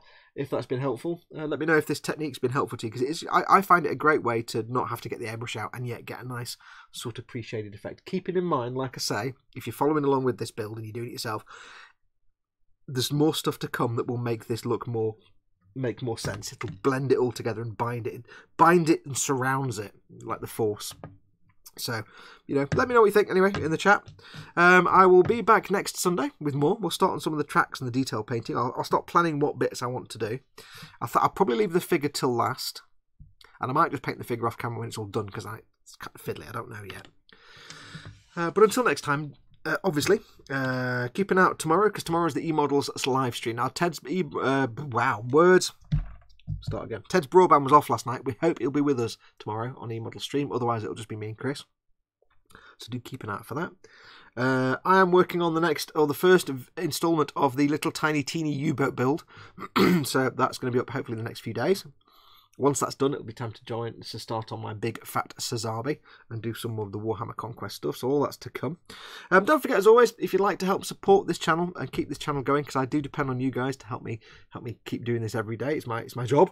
Uh, you can pop to patreon.com forward slash model making guru and help out if you'd like to. There are various ways you can help out. One of them is through Patreon. You get various rewards for being a Patreon supporter some exclusive content. When the Sazabi build goes on, it will be a Patreon exclusive build. Uh, I'll do little sort of build diary videos for non-patrons, but the actual build videos themselves will be Patreon exclusive, so keep that in mind. Uh, if you don't, if you can't do that though, don't worry. The other ways you can help out, uh, you can just subscribe to this channel if you're not already subscribed. Subscribe and hit the like, uh, hit the notification bell so that it makes sure you're notified every time you get a video. Uh, and if you are watching, if you don't have ad blockers or anything like that, if you can sit and watch the video at the start of any of my videos, it just helps me out a great deal because I get a little bit of cash for that. Um, I get the bonus for that. So if you do have an advert on one of my videos, just sit all the way. It's only 30 seconds. It's not the end of the world. You'll be fine. It helps me out a lot. You're doing me a big favour if you watch the advert. So thank you for that. Um, again, stay tuned in the next day or two for announcement about the 20,000 subscribers. I will be giving you an amazing prize or doing an amazing prize giveaway. So stay tuned the next day or two. If I can get it done later on, I'll do it later on. But I'll do that later on maybe. Stay, you're going to love it. It's going to be an awesome, awesome prize.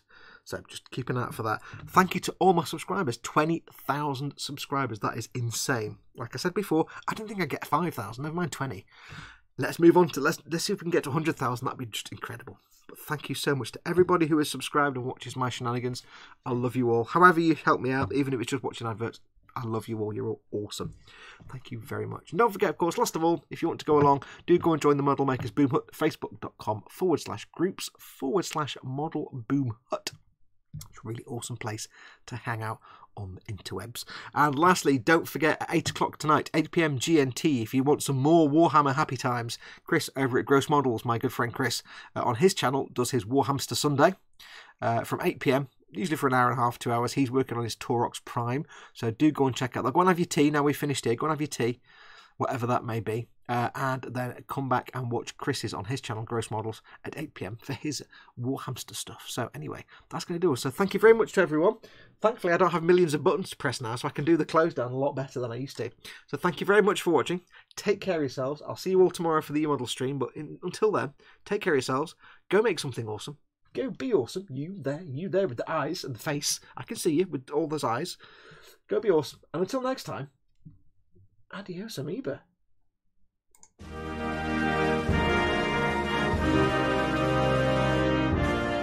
Wait. That was the wrong one. Adios, amoebas.